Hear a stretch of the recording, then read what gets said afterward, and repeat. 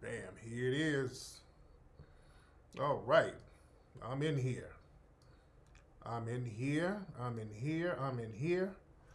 We're live right now. What's going on, guys? Let me let everybody know in this gram that we're live right now. And once I do that, we're going to be really good to go. I'm going to do that real quick before. On, guys, let me let everybody know in this gram. Let me turn that down. All right, everybody come on in the room right now. Let me grab this link here. All right. Y'all bear with me one second. Once I do this, we're good to go. Uh, right, excuse me. Oh, where am I doing? Where am I? Where am I? Hold on, let me let the gram know we're doing what we do. And then, y'all, we are going to be all in there. Bam. Bam. Just did it. All right, man, how y'all doing, man? We're here. Oh, man, how are y'all on this wonderful Sunday? Sunday evening. Let me make sure my my joints are lotioned up. How y'all doing, man? Hope everybody had a a great week. Um, I'm a little late today. You know, we went swimming. We were swimming for a long time. Today, we're doing our swim thing. The sound is not low. The sound is great. I just heard the sound. All right, so you got to watch these guys in here trolling about the sound. That's a lot of people are trolling. Who, just hit me up?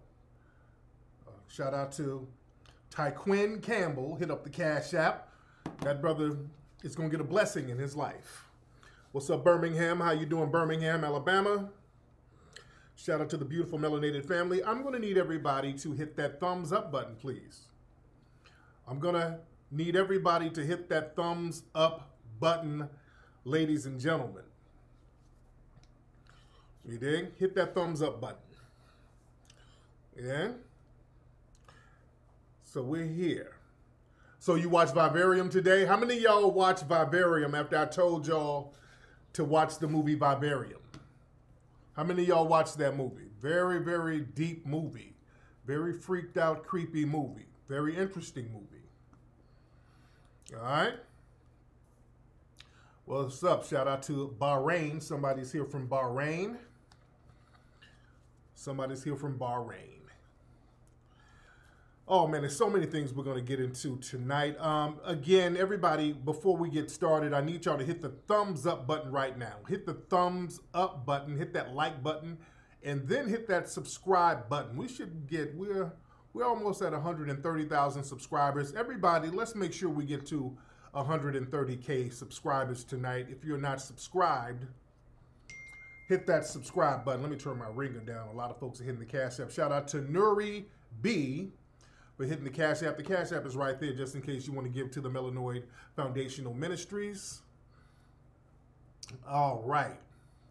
And, and, and again, everybody, while I'm talking, you can get the Mink Slide Crushed Velvet album. Um, get that album at um, minkslide.com or click the link below. All right. So, a lot of stuff we're going to talk about. Today's topic is NFL, meaning Negroes for lease. We're talking about Negroes for lease. Did you guys see the draft this week? The NFL draft. They were doing the NFL draft where people were at home. And first of all, I, I congratulate these brothers for the ones who got chosen, the ones who got drafted.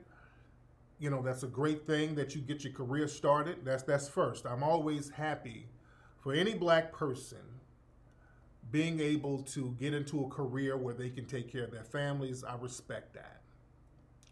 And I, I, I encourage that. You should get paid for your talent. Um, you know, it's a very important time in your life but saw some things that were quite interesting. A lot of white girlfriends. There's a lot of Karens and Beckys. What's up? Everybody say what's up to little Bracy. That's our internet daughter right there. That's little Bracy. She's in there. She's in the chat room. How are you, little Bracy? That's our little, she's 16. She's a student of the game. She's a student of the knowledge. So we, we try to take care of her, make sure she stays on the right path. Okay, but it was a lot of white girlfriends there. A lot of interesting things going on there. A lot of interesting things. Now, one thing that's interesting, what was that? It was one white player who got drafted to the Patriots. He got drafted to the Patriots. And this dude had a tattoo of a white supremacist group called the Three Percenters. The Three Percenters is a white supremacist organization. They pass themselves off as some type of patriotic militia group, but they're a white supremacist organization. They like throwing up the little white supremacist hand signals. So this this guy who got drafted to New England, to the Patriots, like what's his name, guys? The kicker. Yeah, he got a damn this tattoo on him, and then he start he's acting dumb, and the media's acting dumb with him. The media is acting dumb with his ass.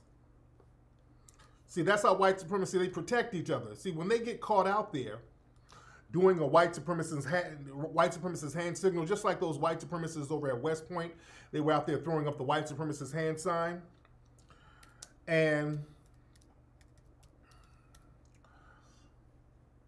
the media was talking about they're playing some kind of sock game, some stupid shit they tried to make up. You know? Now, this is somebody at Deadspin. Let me show y'all this article here. Somebody kind of called him out. He's trying to play dumb. And uh, hold on. This is him right now. Photo of Patriot um, um, Justin Rohrwasser. Rohrwasser. I can't pronounce his last name. It said he calls the stir. That's his tattoo right there of the three percenters, which is that's their logo. That's this white supremacist group's logo. So it's not a coincidence that this guy just happened to get the goddamn tattoo.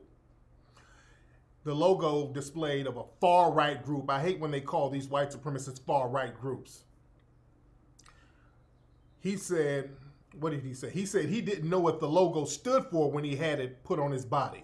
This is what they always play like they they always act dumb. When it comes to racism, I told you this: the white supremacists and the white supremacist suspects, all they pretend to be the dumbest people on the planet when they get called out. Now they're they're geniuses any other time, and yeah, of course he's MAGA. So it's always I was a baby. Oh, I got the tattoo when I was younger, dude. I was a teenager. I have a lot of family in the military. I thought it stood for military support. Shut the fuck up. No, you didn't. Stop it. Stop it. Stop it. Stop it. You didn't. You know exactly what it was, dude. He's playing dumb, which is what they always do. So, black folks, this is why I tell black folks let's stop this thing where we are always trying to educate white people about racism.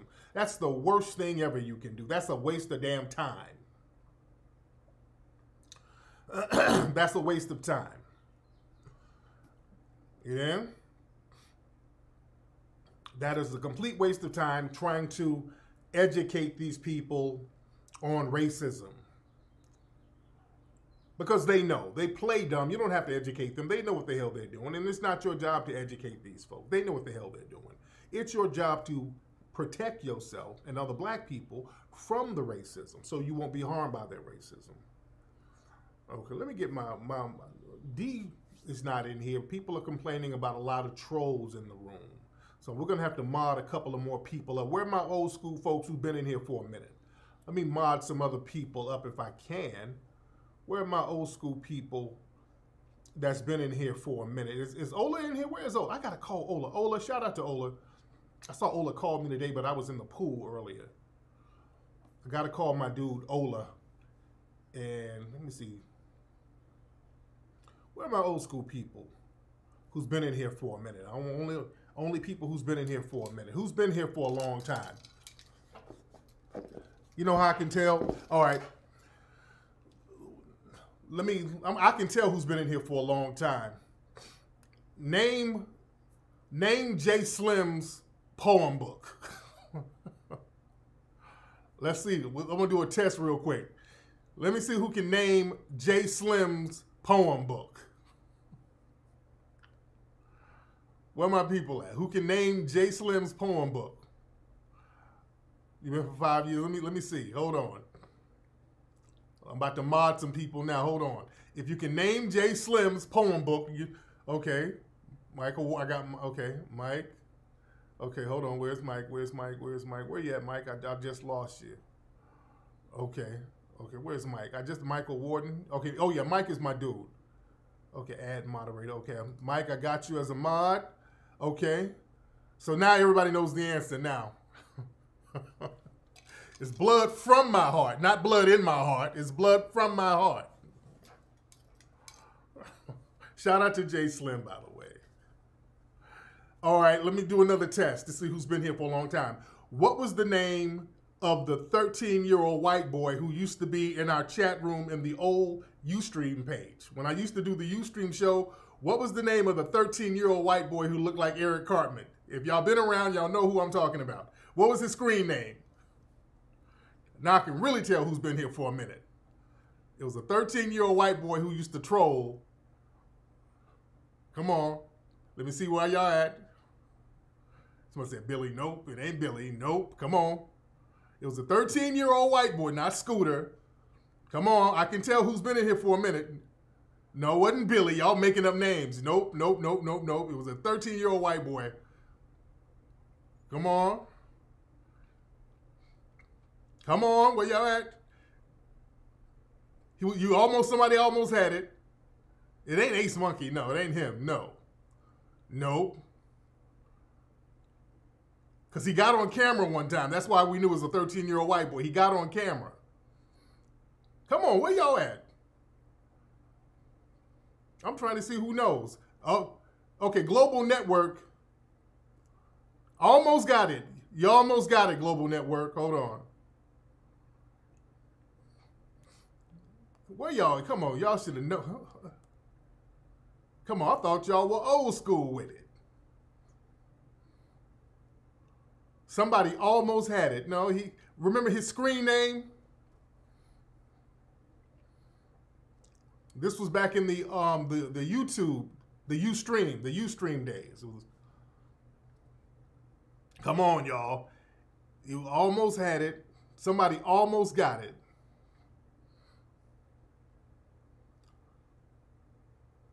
Hold on, where y'all at? Come on, y'all should know this little boy's name. Fawcett me almost. Y'all should remember this little white boy, man. He used to be trolling in the room all the time. If you've been around for a minute. Y'all, some people, y'all almost got it.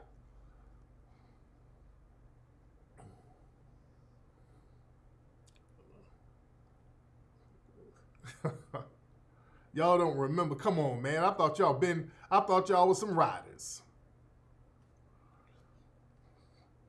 I'm waiting for the answer. See, that's you got to be diehard to be to know that answer. Not Trag. No, we everybody knows who we know who Trag is. Okay, yeah, none of y'all got the answer. Cause some of y'all came close. Some of y'all came close.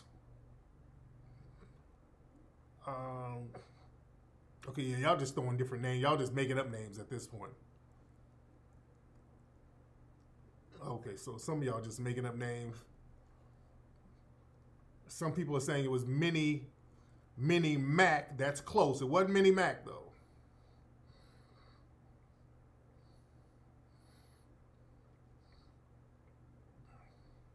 Where y'all at? Come on, I'm, I'm a.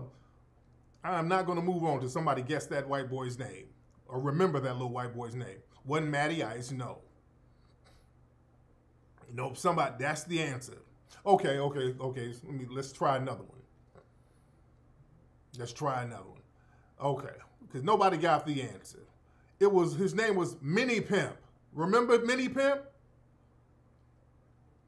Some of y'all almost had it, but y'all didn't get it. His name was Mini Pimp.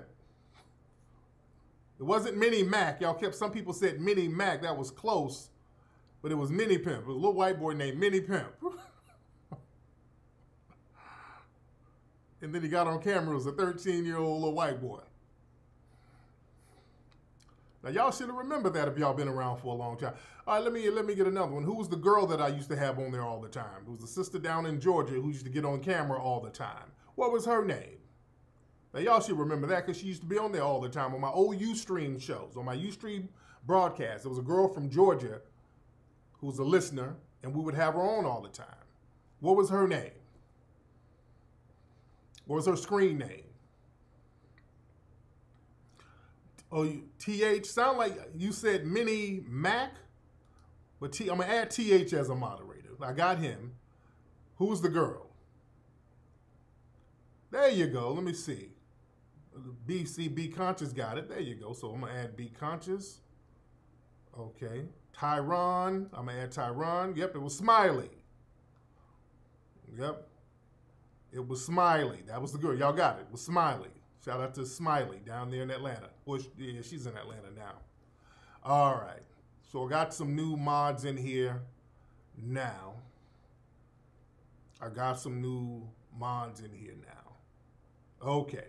All right. So yeah, we got some new mods. Not hot double either. All right. All right. So we got that straight. We got that straight. All right. So now we got the mods together. All right. I'm surprised y'all didn't remember Mini Pimp. Yeah, I'm surprised y'all didn't meet, remember Mini Pimp. And um, so yeah, there we go. We got enough. Yeah, let's go to the topic. Let's get to what we're talking about today. And how do y'all like my hair? I'm letting my hair grow out. You dig? I'm letting the hair grow out. And um, I'm getting the, this is my quarantine do. You know, I'm letting it grow out. And uh, I'm going to get some braids pretty soon. I'm letting it grow. Ladies, uh, how long do I need to have my hair grow before I get braids? Um, are there any hood rats in here? Um, I know most of the women here and the brothers, they're very upscale people, but are there any hood rats who happen to be in the room? Hood rats manage to braid what little scraps of hair and edges they have sometimes. So what, what are your secrets? I need to know how long does it take to braid? Because y'all be somehow getting a braid on your de deprived edges to glue and strap on a, a wig. So I want to know how long it takes about an inch. About an inch, okay. I mean, I'm getting some fucking braids. I'm getting braids. I just want to know how long is do I need to get it? Because I want I know when you get braids, that's that's going to help kind of make the hair grow a little bit. So I knew some some some hood rats probably know. Know, you know about two inches. Got it. I'm getting braids on y'all niggas. You know, no braids are not ugly. I'm, I'm gonna rock braids because sometimes I don't. You know, this quarantine got me trying new things. It, it's got me trying new things. You know, I'm growing my hair out and you know, I want to do some things with it. So, you know, it's about to be summertime, and you know, I go swimming, and I'm gonna do a lot of swimming, and I don't want to have to, you know, get my hair cut on a regular basis. So yeah, I'm gonna get some braids. I'm gonna be walking around this bitch looking like Shemar Moore in that Tyler Perry movie. You understand? Oh, I'm getting them braids on y'all ass. Y'all just wait. What y'all gonna do when I get them braids? Y'all ain't gonna know how to act. Yeah? I'm gonna get some braids. I'm gonna get some rice braided in with the hair to make it grow longer. Yeah? I'm gonna get some rice braids. I've seen motherfuckers over in Africa do that shit. You be braiding the shit with rice in it. I'm too old for braids. How dare you? I'm not too old for braids. Your ass is not too old for a lace front. I see you, some of y'all 50, 60 something years old with a whole ass lace front all the way down to your back. And under that lace front, you look like Morgan fucking Freeman. So y'all not too old for a lace front. I'm not too old for braids, nigga. That's how I'm gonna do it. Y'all just hating because I don't have a receding hairline. I got a nice, robust hairline on y'all ass. So don't fucking hate. Motherfucker, participate.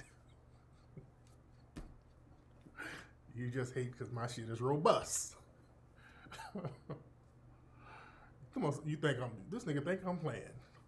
Nigga, y'all gonna look up and y'all gonna be like, that nigga looks like Trey Songz first album. Y'all think I'm bullshit. Y'all, y'all keep playing with me. And watch. Watch the new Mink Slide video. I'm gonna be looking like Leroy from Fame without the moisture. All right, but anywho, any let, us get to what we're talking about. All right, let's get back to what we're talking about. We got our we got our mods in here. Everybody hit that goddamn thumbs up button. We need to get about six thousand folks up in here watching live. We need to get that. We, we need let's get about six seven thousand folks in here watching live because we're gonna chop it up tonight. Now we're talking about the draft. We're talking about the NFL draft. We're talking about a lot of niggas out here with the Beckys. A lot of niggas had Beckys with them a lot of these Beckys were trying to position themselves to get some shine. Even some of these other girls, some of the sisters with these brothers, they were trying to position themselves to get shine. You understand? I saw a couple of cats when they were getting drafted. Boy, those girlfriends were all skinning and grinning in the camera. All they were trying to position themselves. Understand this: these brothers getting drafted. You know, a lot of folks are going to try to leech off of it. You understand? Some of these women know, hey, if I get me a little camera time here, Mona Scott Young might call my ass. Oh, I might get a damn show my damn self. Everybody say what's up. I was wondering where Ola was. Shout out to Ola. Ola, I got to call you. I was in the pool earlier when you called, Ola. I got to call you back when I'm done. Please remind me to call you back tonight, Ola. Um, said, well, yeah, we got Ola in the house, so yeah, Ola's gonna mod this shit right on up. He's gonna stop the bullshit with all these trolls up in here. But um, a lot of these folks were out here trying to get shine. A lot of cats got the Beckys. Um, the the most infamous thing that happened was the brother Isaiah, is it Watson or something like that? Isaiah Wilson, something like that. This brother, he got drafted. And, you know, he was very emotional and he was crying and stuff like that. Hold on, let me go to my tabs here and um, his white girlfriend was up there trying to clout chase. This is her. His white girlfriend, she was all up in the camera trying to get some shine for her damn self. And boy, his mama shut that shit down. Hold on, where where we at? Come on, thing. Hey, come on, man. Hold on. There we go. Let me get this shit together. So this dude Okay, it was Isaiah Wilson. Okay, so y'all saw this. This this thing went viral, where the girlfriend thought she was gonna get her some camera time. Yeah, she looks like a little older white woman, so he's gonna upgrade from that, by the way. So she tried to put her face damn right in the middle of the camera. Oh, she tried to make it about her. He's crying and she jumped all on him, hugging him, and all this. So shit, what's what's going on with this? I'm, I'm hold on, let me back all this shit up a little bit. Hold on, let me get my my screen and all that together, guys. Hold on. Bam. All right. So she got all in the camera trying to get some shine. She thought she was going to do a little clout chasing. Chloe, the clout chaser, and his mom hemmed her ass up. Look at this. A Big tackle in Isaiah Will. Wilson from Oh, what's going on with this thing? Come on, man. Hold on. All right, hold on. Come on. So the Titans get themselves a big tackle in Isaiah Wilson from Georgia. Look at mom. Came from Brooklyn Poly Prep, Prep Country Day. A little time to adapt to the heat and conditioning in the South, playing at Georgia, and now he'll be playing. Nigga, did you see mom? Shout out to mom. Shout out to Mama Wilson said, bitch, if you don't get your ass up, and the white girl didn't want to leave. The white girls, the white girl tried to resist. the white girl tried to resist. Mom said, hell no. No, no, no, you're not going to take the shine away from my son. Oh, no, you're not. oh, you better stop resisting. Shout out to mom. Not that old Becky trying to clout chase, trying to make it about her damn self. You dig? and this one right here with um, CeeDee, him and his girlfriend. With CeeDee and his girlfriend here. Hold on. CeeDee Lamb. See, hold on. The CeeDee Lamb. I know y'all saw the one with CeeDee Lamb and his girlfriend she dated um um a basketball player, a professional basketball player in Atlanta, by the way. So this chick just goes from athlete to athlete. All right. So she, she, you know, she's already getting clout. She's changing leagues, getting clout. So his girlfriend, CeeDee's girlfriend, this is CeeDee Lamb. Um, OCD, his girl, you know, she's gonna be a basketball and a football wife. So you know, yeah, Trae Young. She was rocking with Trae Young. That's right. She was rocking with Trae Young. So, you know, she she she scours the locker rooms. You dig? So she got a little comfortable. Somebody says she's a sports groupie. Okay, yeah, you know, whatever. The water seeps its own level. You get in where you fit in. But she got a little comfortable. She's tried to check his phone while he's on live TV. She picked up the phone. He snatched the phone from her ass and embarrassed the shit out of her. You know? To see he look just like his mama. He does. So this is her. And I almost felt bad for her. She, you know, the, I felt secondhand embarrassment for the sister. Hold on. This is her. He can do that. He's a hit who's very explosive. Give me that. That big hit, hold on to the football, uh, knows how to find the open area in that defense. Poor thing. Come out on a scheme. Oh, look at her face. Football, so route running, Oh, poor thing. Oh, poor thing. Oh, he snatched that phone from her ass. Oh, and she tried to play it off. She tweeted something like, Well, it was his agent who called, and I was just trying to answer the phone. What the hell you want to answer the phone for? The agent ain't trying to talk to you. The agent wasn't trying to talk to you, sweetie. Yeah, the mama was, everybody was looking real side eyed at her ass. Everybody was looking at a real funny style. Sister, you got real comfortable. You, this brother just got the bag. The brother was cashing those millions of dollars in his mind, so the, the mackishness came out of him real fast. Y'all better understand when a nigga hit, when that money hit, and the check ain't even in his hand yet, the check has been cashed in his mind. See, when the check is cashed in a nigga's mind, he's different. That nigga went from simp to pimp in seconds. The minute they announced his draft, oh, the Gators popped on his feet. Bitch, give me that phone. I'm a millionaire now. You dig? Yeah, all that old phone snatching you've been doing. No, no, we're not doing that no more, dear. We're gonna stop that right now. Little red bone. Hell yeah, yeah. She was bossing up on him. You know, he, he's like, no, I'm not a, a broke college student with potential now, bitch. I've arrived. so what I'm gonna need you to do is unhand that phone and get me an ashtray. Ashtray, bitch. oh, he got he turned into a Tyler a Tyler Perry villain overnight. This nigga turned into a Tyler Perry villain. I said ashtray, bitch. That nigga embarrassed her ass on live TV. Let's look at it again. Oh, see, they don't like a nigga, but see, when a nigga gets some paper, the rules change all of a sudden. When a nigga get, see, a lot of these women, they like a little a broke, dusty nigga who they can boss around. Oh, you can't. When a nigga, when when when that money hit, all the tides turn. All the tides turn real fast. All the tides turn so fast. Look, He can do that. He's a very explosive. He'll take Poor thing. I almost feel bad for on her. to the football, uh, knows how to find the open area in that defense. Obviously, coming out. and look at her face. All the embarrassment. Oh God, poor thing. Oh, poor. I, I, I low key feel bad for her. I feel a little secondhand embarrassment for her because she looked, she was embarrassed. She tried to boss up, checking niggas' phones and all that, and got embarrassed. Boy, she had to. boy, she had a little John Lewis look on her face. Lord, eyes in good trouble. I should not have grabbed that phone. I spilled blood at the NFL draft. Poor baby.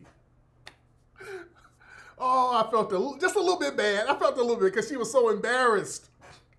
I felt just a little bit bad for her. Boy, she she got in some good trouble. Oh God. Oh, that nigga's gonna turn into Nino Brown. Don't she look like the, the chick from New Jack City? She looked like her too, eh? Nino, you're ignoring me. Cancel this bitch. Pouring, pouring Ciroc on her ass. Go get Cancel this bitch. I'll go get another one. she has that look. Oh, poor thing. Oh, no, eh, my nigga, you better be careful about that shit, dude. Because she's plotting revenge. She don't like that shit that she got embarrassed like that. So she's plotting revenge just like in New Jack City. Just like the chick.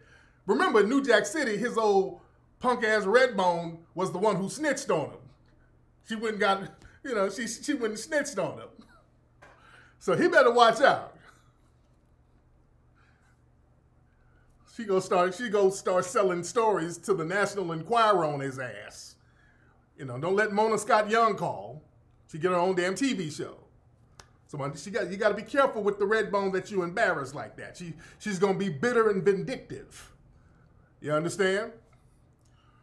So, you know that's that's what it is, ladies. When when a nigga get that bag, when a nigga get that paper, you you better act like you got some sense.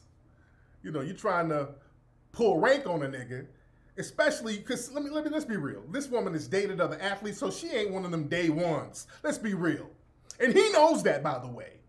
Let, let's be clear, he knows that, and I think that nigga might the way he did that little move, that nigga might be dumping her pretty soon. Yeah, I wouldn't be surprised. It ain't like one of these chicks who like went to high school. She was a rider all the way through high school, all the way through college. LeBron's lady, how long has LeBron's lady been with him, by the way, guys? I don't know too much about their relationship. Some of y'all might know. I don't really follow the game like that. How long was LeBron? LeBron's lady seems like a rider. LeBron's lady seems like she's been a ride or die. She seems she seems like a real good rider. Was was she with him like when he was in college? How long was she with him? Yeah, Ayesha Curry, she's a rider. I give her that. She's a rider because she's she was there 20 since high school. Okay. Since he was like, yeah, so yeah, that's that's some real shit right there. He's been with her since high school. Okay. Yeah. They seem like fucking riders. You can feel that shit. You can feel that energy. It's different when you got a rider like that not somebody who's you've been dating other athletes. You, you, understand? So I'm already a little skeptical. I mean, you a cool little trophy wife, but you ain't that bad. You can be grabbing my motherfucking phone on TV like that. You understand? We ain't you ain't roll with me like that. Cause the niggas already had some skepticism in his mind. So right there, that's showing you yeah, yeah, Peanut's a rider. My are right. We've been gonna look at her. Come here, come here, come here, come here, come here, come here, come here. Come here. What's up, baby? You about to roll out? Come on. Yeah. Come on, come on, say hi to everybody. Here. It is very hot in here. What's up? This is my rider right here. What's up, man? No. Look at that. What's going on with you? What's happening? You got the baby here. Lord. What's happening? You about to roll out? She's she's about to bring some toilet paper to some family members. All right. My shirt. What's the shirt say? Hawaii? Yes, yes. We'll be in Hawaii pretty soon. All right. Yes, indeed. You then? Yeah, so if I'm doing something and, you know, Peanut check my phone, I wouldn't really trip which she wouldn't do. But if I'm doing something, she don't do that shit though. You know what I'm saying? She don't do that type of shit. I'm all looking at my phone. The fuck? I, I know that the, the Mac came out of that nigga. I'm on live TV and you checking my phone? Like, you don't give me that goddamn phone? This nigga, the first NFL party that pop off, that nigga's gonna get taken. So that's just the, the let me tell you something the look on the old girl's face, she knew that's the end. She knew, boy, her days are numbered. The look on her face, that's a look of my days are numbered. Oh, that's a look of oh shit. Let me try to get. Let me go get some fertility pills. Let me go get some Dr. Sebi uh, uh green sea moss to up these ovaries so I can get a baby out the game. She already knows this is about, oh, the look she had on her face was like, oh shit. This nigga just showed out on me on live TV. Uh oh. Uh, let me see who else got drafted. Shit. Let me look through the draft roster. God damn. Because this motherfucker, I got to go out here and campaign some more. Shit. I got to get an OnlyFans page and so show some pussy. nigga. When a nigga gets some money, I'm telling y'all, niggas is different. When a nigga gets some paper, especially if you ain't been a rider, I'm t- the only folks we don't really trip hard about is somebody who's been riding with us for real when we didn't have nothing and, you know, people weren't dangling money in our faces. Because, see, it's one thing, too. What happens is a lot of these brothers are in college and people know that they're going to get drafted. So all of a sudden they try to act like they're, these women try to act like they riders. Who, hey, I know you ain't got no money now, but I'm here for you. They try to make a little quick investment, especially them white girls. They see potential. The white girls be seeing potential. So in college, white girls will start hooking you up with a whole bunch of shit.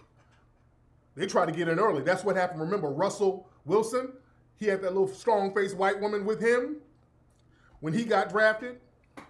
Now Russell's chilling with Ciara's little sexy ass. Yeah? So the white women, they try to invest real quick. When the minute they see some potential, right when that contract is about to be signed, some of them try to put their bid in real fast. Yeah?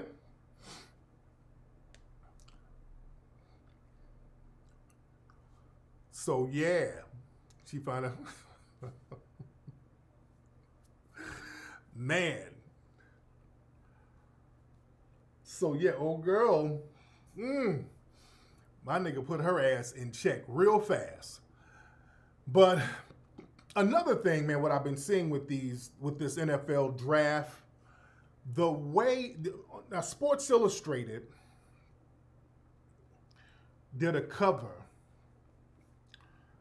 and they got old dude dressed like a damn slave on the cover of the new Sports Illustrated. Let me see if I can pull that up. That's, hold on one second. Let me see if I can pull that up real quick. That's on the header of this broadcast here. But they got old dude looking like a goddamn slave. Hold on one second. Let me see if I can pull that up real quickly. Okay. Hold on. Where we at? Okay. So this right here. Hold on. Okay. They got DeAndre, DeAndre Hopkins. Hold on. Look at now they got this brother on Sports Illustrated looking like a fancy slave. Look at the outfit they got on. That's not that's not a coincidence, family. They got DeAndre Hopkins looking like a slave on here, man. That's not a coincidence at all. This is not a coincidence. They tried to, you know, put a leather handkerchief around his neck, but this is like a fancy slave.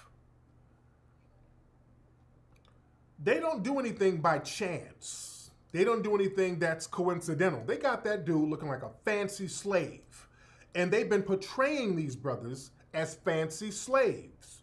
One brother, they were, I'm looking at some of the stats that ESPN, and ESPN is like a big ass plantation. One brother, they were talking about, he's 5 and 0 this, he runs this fast, and he had a sexual assault charge that was dropped. I'm like, what the hell? I'm like, what, what the what what the hell are they talking about? They were talking about one of these guys who got drafted. I can't think of his name, but they were talking about a sex charge that he had. I'm like, what the hell? What the hell is that? So they setting these niggas up already. They already setting them up just in case. They're already setting these dudes up just in case they need to to stun on them and front on them and pull out some receipts on them, they're already getting it started. And then, let me, let me, there's a lot of funny style stuff going on here. So Tee Higgins, this is Tee Higgins. Let me, let me show that. They had Tee Higgins put his stats up. Hold on. And what, who did Tee Higgins get drafted to? And this is the thing that bothers me. So this is Tee Higgins. They were like hometown, Oak Ridge, Tennessee. finalist for Mr. Basketball held offers from LOU, AUB in Tennessee. Sister Kiki played basketball. Mom Camilla fought drug addiction for 16 years. And we're like, what the hell? Like, what the hell is that? What, what?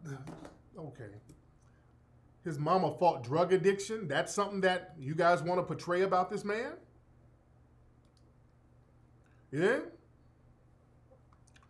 Let me tell you something. That that was extremely unnecessary.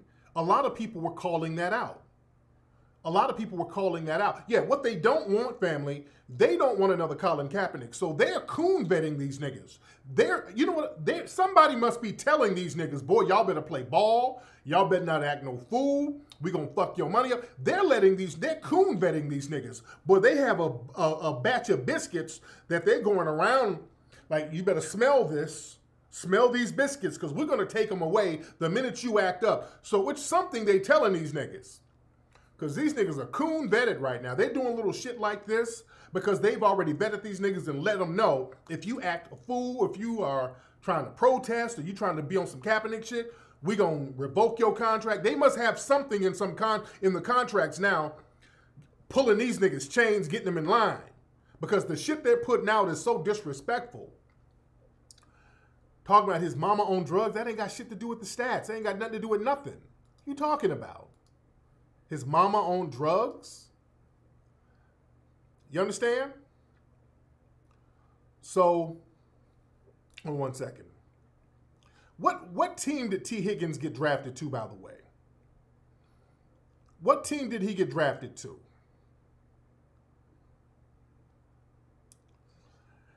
And family, family, this is the this this is not the, even the worst part about it. This is not the this is the part he got drafted to Cincinnati. Okay, the Bengals. So now they're sitting here talking about his mama's own drugs, which is very unnecessary. This is Tee Higgins' tweet. I'm proud of my mom for turning her life around for me and my sister. I have no problem with them showing the world that my mom is a true fighter. This nigga been coon vetted.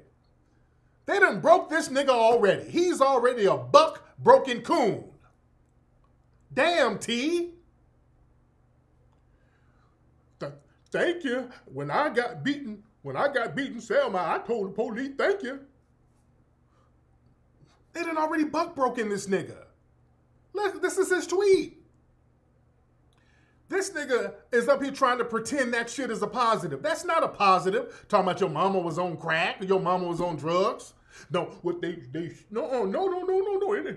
They showing that my mama is a fighter. No, they're not. You Sambo. No, they're not showing that your mom is a fighter. What they're showing is, hey, look at us. We're white daddy. We're white daddy, and we we save you niggers. Look at us, white daddy, saving these ghetto niggers from their crackhead mammies. Look at how great we are. That's what that is. This is the narrative that they're portraying. Look at how great we are. We saved these poor, downtrodden niggers from the ghetto, from their crack whore mothers we saved them and gave, we gave them a better life. So they should be grateful. That's the blind side. Remember the movie The Blind Side? The good white people went and got the big buck nigga, saved him from the ghetto, and the mama was all on crack. Well, they love a crackhead black woman somewhere. You take care of my baby when I'm smoking now. They love that. They love the broken home narrative that the black person is great because of white people. This is the narrative. They like to show a black person's greatness because a white person made them great. So in the movie The Blind Side, Michael Oher was great, not because his daddy, his daddy wasn't around, his mama was a crackhead, but it was the white woman who made him great. They love portraying that narrative. Even Michael Oher hated that movie. My, he, he hated that movie too. But they always make it seem like it's white people who made the Negro great. That's why they don't never like to show black men with their parents. They don't like to show black men with their parents. If they do show them with their parents, they show them with their, their mama. They like to promote the single mother. They don't like showing how you don't see black male athletes with their mother and father. Definitely not with their father. That's very rare. They don't like to show that. And they don't like to show them with their wives either. They show the white ones with their wives. They always show the, the white players, even if they came from trailer parks, show them as family men. Yeah? They never show them with the father. They don't like to show that. They don't like to show them with their fathers. That's why they didn't like to show Michael Jordan with his father. Michael Jordan was very close to his father. And remember, if you're old enough, Michael Jordan's father was killed in under very suspicious circumstances. Michael Jordan's father was killed back in the 90s under very suspicious circumstances. He got killed on the side of a road. They said he pulled over to go to sleep and then somebody came and killed him. It was very suspicious. They don't like black fathers. LeVar Ball, they don't like black fathers. They don't like black fathers. You dig? Very suspicious. A lot of y'all don't know that. Some of y'all are too young to, to know that, but his dad got murdered. Michael Jordan's dad got murdered on the side of a road around the same time Cosby's son got murdered, by the way. Yeah?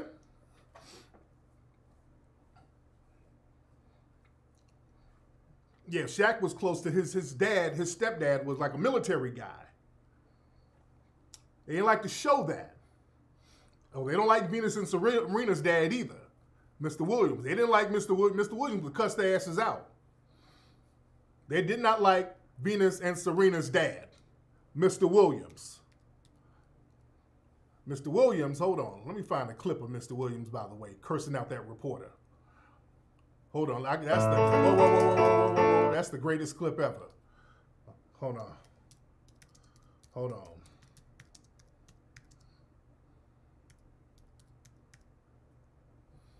Hold on. I got it. That's the greatest clip ever. This is for, for those who had not seen this interview, by the way. Mr. Williams. Shout out to I love Mr. Williams. Mr. Williams cussed this reporter out because the reporter was asking kind of some dumbass questions to Venus when she was young. This was Venus when she was very young, and the dad popped out of nowhere and cussed his ass out. Hold on. Have y'all ever seen, some of y'all might not have seen this. I love this. I love this. Shout out to the great foundational black American, Mr. Williams. I know I can get it. No. Okay, this audio is janky. Hold on. Let me find a better audio quality. Hold on. Hold on, hold on. Da, da, da, da, da. Oh, hold on. Uh, hold on. Let me find a better. Let me find a better audio version of this shit. Hold on. I don't like this version of it. That might be the only one. Hold on. Damn. Okay, that might be the best quality I can get. Uh, okay. Okay, that just might be it. Hold on. I don't like that quality. Okay. I don't like that quality, but hold on. Let me see if this quality is better. Hold on. Hold on. Okay, that's that's gonna be the best quality I can get. Okay, so I just play that. Okay. Okay, come on, thing. Come on, don't fuck around. Okay. Okay, this is the best quality. I know the sound ain't that good, but but this is it. Okay, hold on. Shout out to Mr. fucking Williams. I love that nigga. Mr. Williams about to slap that asshole. Mr. Williams was about to slap that asshole. I love it. He was like, wait a minute, she done told you now. Hold on now. She done told you what she she, she it with confidence. Why you ask? That's a black child now. He had you saw he had his hand in his pocket. You know he had a, a razor blade in that motherfucker. Hold on now, don't make me go in this pocket on your ass, cracker. Nah, she done told you now. I was gonna get in good trouble fucking with you. you saw he had that hand in the pocket. Mr. Williams is from like Mississippi somewhere. Miss, you know there was something in that damn pocket. Shout out to Mr. Williams. Like, this is a black child. Don't keep asking her no dumb shit like that, trying to question her confidence. Oh, I love that, brother. That's what they do. These white folks get around black kids and then try to second guess their confidence, and the dad saw that shit. If you're going to keep interrupting, I'm going to interrupt your ass. You keep asking this child all this now.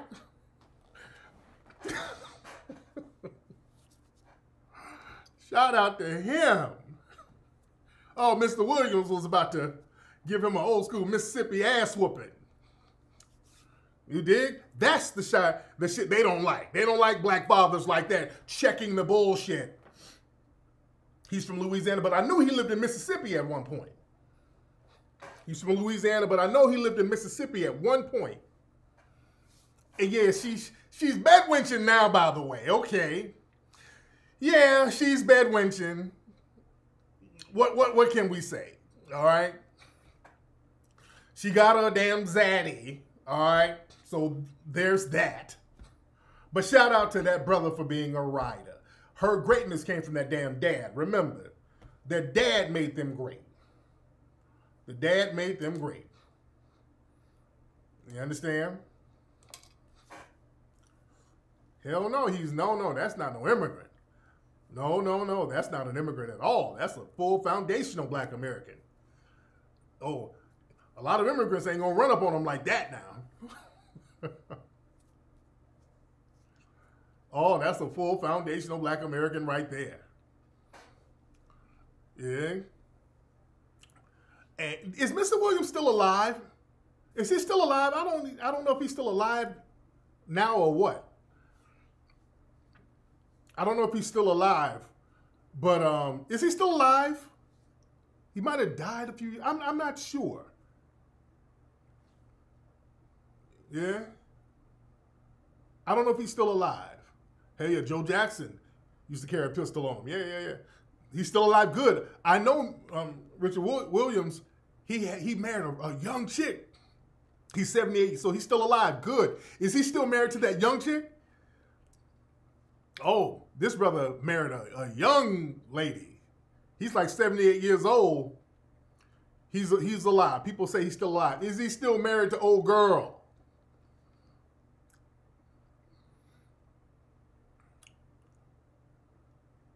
He's very sick now. Okay, that's he's sick, but he got over it. Okay. Oh, he didn't go to the wedding? Oh, he's like, fuck all that bedwenching bullshit. So yeah, my dude, Mr. Williams, married a young chick and had a baby by ass. This motherfucker, 78 years old, having young babies. He up here at Chuck E. Cheese with a walker. My nigga's out here getting it in. He out here with young babies. Yeah, he's catching. Out here catching them young things knocking them up. That's the thing. Making some more little tennis players. Man, hell yeah. He got that old school Jim Crow sperm. Nigga, hell yeah. Nigga, the baby gonna come out old. Nigga, the baby gonna come out smelling like magic shaving powder. The baby's gonna smell old. It ain't gonna be baby powder, it's gonna be magic shaving powder. The old school kind. The baby's gonna be old. He has some old babies. the baby was born with some work boots on. The baby had a job. The baby had a job at a plant. that baby was born with a forklift application. Let's get this to your supervisor and let him know I'm trying to get some employment. This baby was trying to get hooked up with a job when he got born. Old baby. Shit. God damn, shout out to Mr. Williams. Getting it in. Man. So, but like I said, these these players, these these athletes now, these athletes now, man, but the, the butter biscuits are in the air. The the butter biscuits are in the air. it's it's it's sad now. They don't want no no They don't want these guys coming from these strong backgrounds. Yeah, they, they don't want that.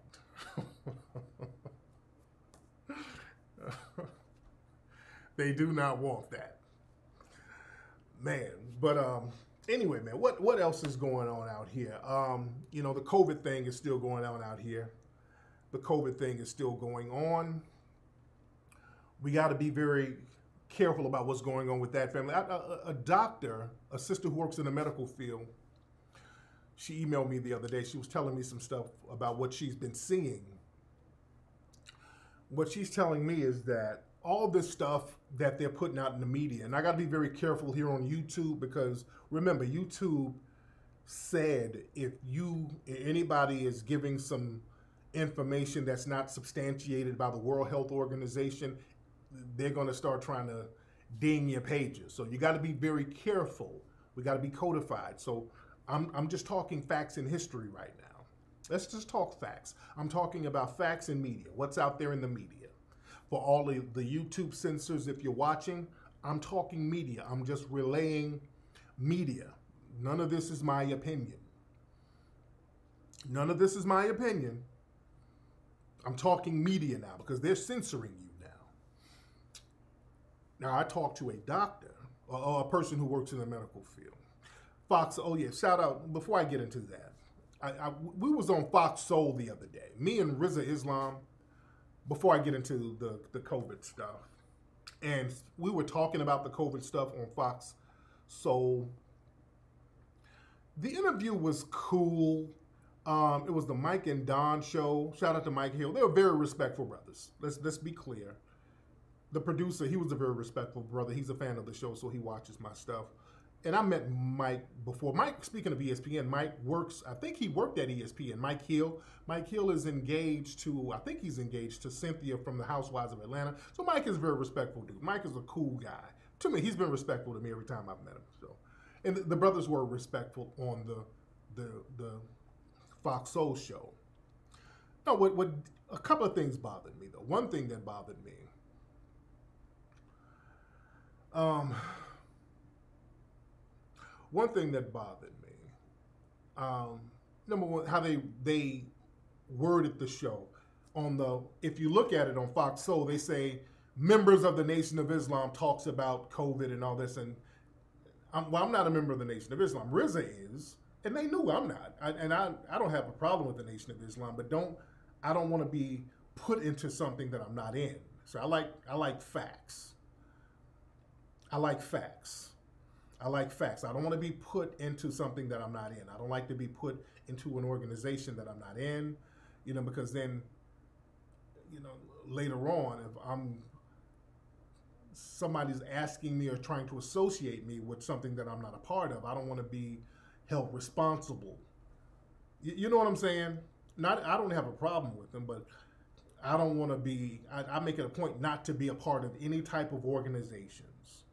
I don't. I make it a point not to be in any kind of organizations. Not even a so. Yeah, I, I don't. I don't like that at all. Just like they they would try to do. They do that with me all the time. They try to put me in organizations. What Tariq is Black Lives Matter, the leader of Black Lives Matter. No, I'm not. I'm not no goddamn leader of Black Lives Matter. Do not put me in no organization do not put me in no organization. I just don't want to be a part or falsely labeled as a part of an organization that I'm not a part of. You dig? So we're on the show. We're talking about some stuff, and a few times, and the, and the brothers were cool, but when I when I touched on certain things, I felt the host the brothers, I I felt some eyes bucking just a little bit. No disrespect to them, but boy, when I was when I mentioned a few things, some of the eyes quick, some quick, the eyes bucked a little bit. It was some things I was saying that that it clearly made them uncomfortable. Just a little bit.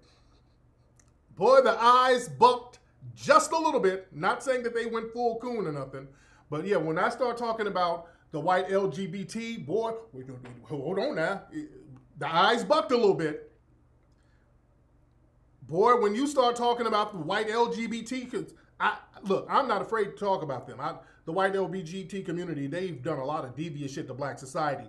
And a lot of black folks who are connected to corporate media, whatever, they get very nervous because they know how the, the white LGBT people are usually some supervisors there or some higher ups there. So they get niggas get real nervous. They start getting real nervous when you start going in on the white LGBT folks. So, hold on, now, homophobia in the black community. Hey, whoa, whoa, whoa, whoa. Yeah, and, and they, they they held it together, and um, no disrespect to them. Yeah, and they kept talking about how the black community is homophobic, and I'm shutting that down. We're not playing that lie no more. That's just a complete lie. We're not black folks. Stop letting people tell that lie about black society. That's just not true. That black people are homophobic. Black folks, we're going to have to stop allowing people to tell that racist fucking lie. Black people are not homophobic in any sense of the word. We don't do anything to harm, hurt, or systematically disenfranchise any gay people whatsoever because number one, we don't have the power to. And number two, we've always had gay black people that we don't trip on. All right, there's a gay nigga over there. All right. It's always been around black society. Nobody trips on them. Nobody's doing anything to them. That's a lie. And it's a lie that got started in the 90s. In the early 90s, that's when that lie got started by some of these white LGBT organizations getting their Negro minions to help spread that lie. Start dangling that little nonprofit money at their Negro minions to, spe- to spread that blacks are homophobic lie. So anytime you start talking about them, that's why we're doing the movie Buck Breaking. This is why the movie is so controversial because we're talking about shit that niggas are scared to talk about. Especially niggas connected in any type of thing in Hollywood because a lot of white LGBT people, they run shit out there. And a lot of them have the same anti-black views as straight society. And I'm not afraid to say that shit. Fuck any type of white supremacy if it's coming from a straight person or a gay person. Because when you have situations like what happened with Ed Buck, racist ass white supremacist Ed Buck with a bunch of dead black men coming out of his house, I'm saying something, nigga. I- am not gonna sit up scared to say something. Fuck that. That's the problem. That's the problem. They try to label us, falsely label us as homophobic so that they can use the civil rights benefits that we fought for against us. Remember, they use the civil rights laws that we don't get protection for. They, nobody's protecting our civil rights. People do anything to us and we don't get protected. But the minute if you get into a fight with a white person, they say something racist, you slap them, you don't even know what their sexuality is. All they can do is say, hey, he slapped me and I'm gay. Oh, that was a that was a hate crime and then you get a federal charge for a hate crime, slapping somebody you, you didn't know what their sexuality was. You didn't? So when I start talking about that, those brothers, mm, boy, the eyes, there was a, a, a little bucking. And they, they threw out some disclaimers real quick. Um, the views expressed by Tariq are not necessarily the views of Fox Soul and oh they, mm, Boy, the eyes were bucking just a little bit, just a little bit. So they threw out some disclaimers. Oh, oh Lord. So they had to step away real quick. Yeah. Man. But shout out to them. They were very respectful. This is no disrespect to them. This is no disrespect. Yeah, it was on YouTube and they took it off YouTube. Yeah, it was on YouTube. It's on the Fox Soul channel. It was on YouTube and they took it off YouTube. So somebody got scared and took that shit off. Let me tell let me tell people something. If y'all invite me on your shows, you know how I get down. Let me I'm telling you, and this is why I really don't like doing interviews. I really don't. They they asked me to do the interview. They asked me a few times. Oh, okay, the producer asked me, oh, okay, uh, we, we can do that. But family, I, I really don't like doing interviews. I don't like doing interviews. And if I'm doing an interview for somebody, you know, I, y'all know how I get down. Y'all know my I, I I don't pull no surprises out my ass. If you work for a corporation and you know you're scared what the bosses are gonna say, y'all don't invite me on your shows. If you gonna anybody gonna start bucking your eyes when I start talking, y'all don't invite me on these shows, man. I'm I'm getting down. When I do interviews, I'm a, I'm gonna go in and tell the truth. You know, I'm not I'm not gonna be disrespectful, but I'm I'm going to tell the truth. I'm going to tell the truth from a historic standpoint. And when I'm telling the truth and going in on white mommy and white daddy, because that's the the aim of my truth is to expose the devious tactics that they do. Yeah, they want to water me down. No, no, no, no, no. I'm, I'm going to tell the truth. Don't start bucking your eyes when I'm going there. Yeah, don't don't buck your eyes when, when I look. A lot of black folks when they get around white people, it's assumed that we're supposed to all get on a code of submission. You understand? When black folks get around white people, it's assumed that we're all supposed to get on the code of submission. Let's talk in code. Let's be on our best behavior as to not offend the white people. No. Nah. No. No, no, no, no, no. If that's what any of y'all want to do, and I'm not talking about anybody in particular, just anybody who works in corporate media, whatever, if you know, if you can't get down on your job like that. I'm not the person that needs to be on that, that joint if we're talking about things relating to race. Now, we're on there just chopping it up and just about some other bullshit. Yeah, we can do that if it's something lighthearted and we're talking about something else. If, let's say, we're talking about music or whatever, if I'm doing something, we're talking about Mink Slide, yeah, we can, you know, we can kind of fuck around because that's more of a lighthearted thing. We talking about dating, that's more of a lighthearted thing. But the minute we're going to start talking about conspiracies about, you know, um, um, vaccines and diseases and drugs and systematic racism, I'm going there. Okay? If we're talking about that, be prepared for me to go there. All right? When I go there, y'all want to talk real? We're to get real. I don't fuck around with that. If we're to talk about that, it ain't to be a bunch of catchphrases and kumbaya. I'm going there.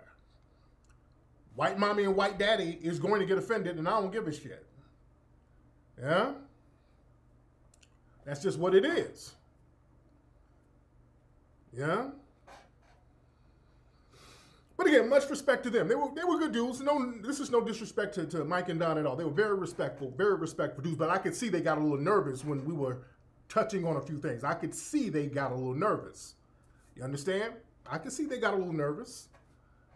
So, I mean, y'all know how I get down. Y'all know how I get down. Yeah? Yeah, they kept dropping disclaimers. What he's saying ain't got nothing to do. it ain't got nothing to do with us now. All right. All right.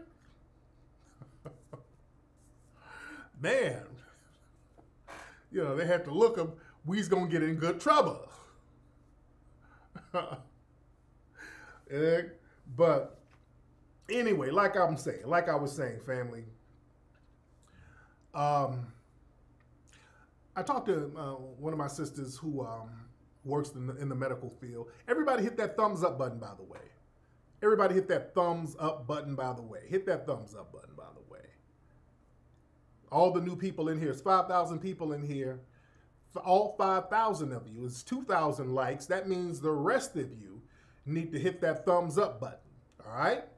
All the people that have, have come in, you need to hit that thumbs up button. Okay? Um, the sister was telling me that all this stuff about black folks with the preconditions and all this stuff, and this is why we're getting the COVID virus and we're dying from the COVID virus, all that's bullshit. Ain't got nothing to do with no preconditions, family. You know, they they like to put stuff on us and then blame us for things. It ain't about what we eat and our diets and all that old stuff. Man, look, white people out here meth the fuck out, opioided out, mayonnaised out, you know, diseased. They got all types of preconditions. And this sister was breaking it down. She works in the medical field. She's like, man, there's so many sickly white people out here. It's ridiculous. So that whole lie about we got all these preconditions, family, that's a con game. That's a con game. We got certain conditions. Black people are way healthier than white people. Don't let nobody fool you black people are generally more healthy than white people. Don't let nobody fool you. Look at all these young warriors out here, these young athletes out here. These very fine sisters out here. They like to make believe that there's a bunch of sickly, waddling around black folks. There's older black folks who are sickly. But for the most part, younger black people, younger black people are damn near the face of health white people generally have more genetic diseases, way more. Hey, white people have way more genetic diseases than black people. But see, they have to get in the media and promote this lie that black people, because of our poor health and our poor diets, it's our own fault that we are getting the COVID and well, we just got to step it up. You know, do it for your your your your abuela, do it for your pop pop.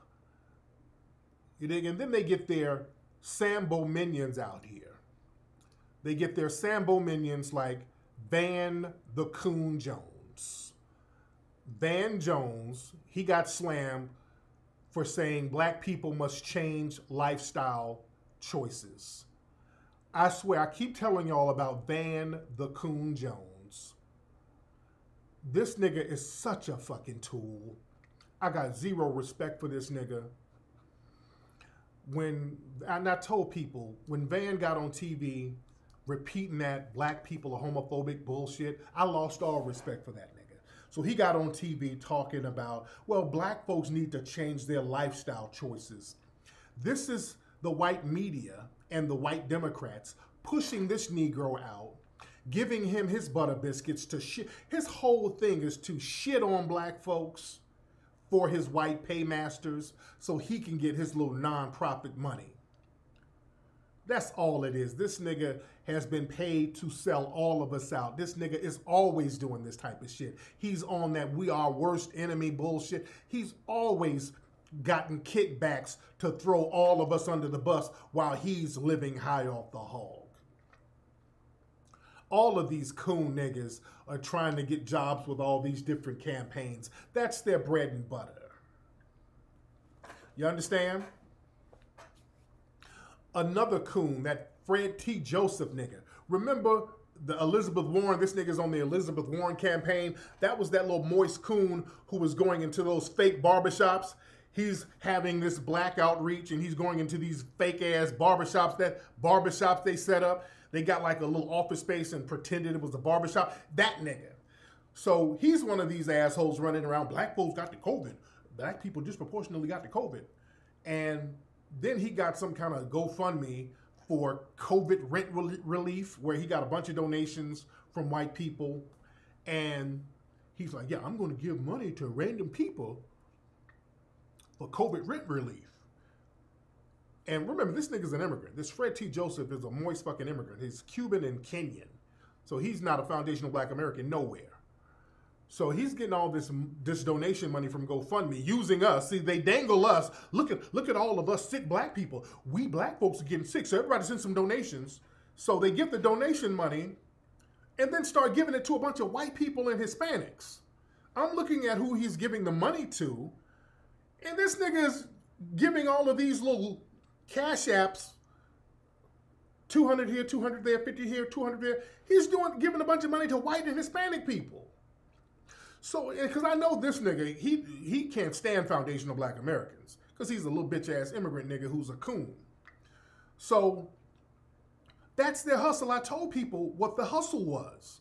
They're gonna dangle black folks. Hey, look at how black folks are suffering. So let's get a a little GoFundMe so we can give it to minorities, meaning white women, white Hispanics, Asians, and we give all the money to them. They use that niggas, yeah, we're bait. The bait so that they can get resources and then give it to everybody damn else. I, I, I really have zero respect for that bitch nigga.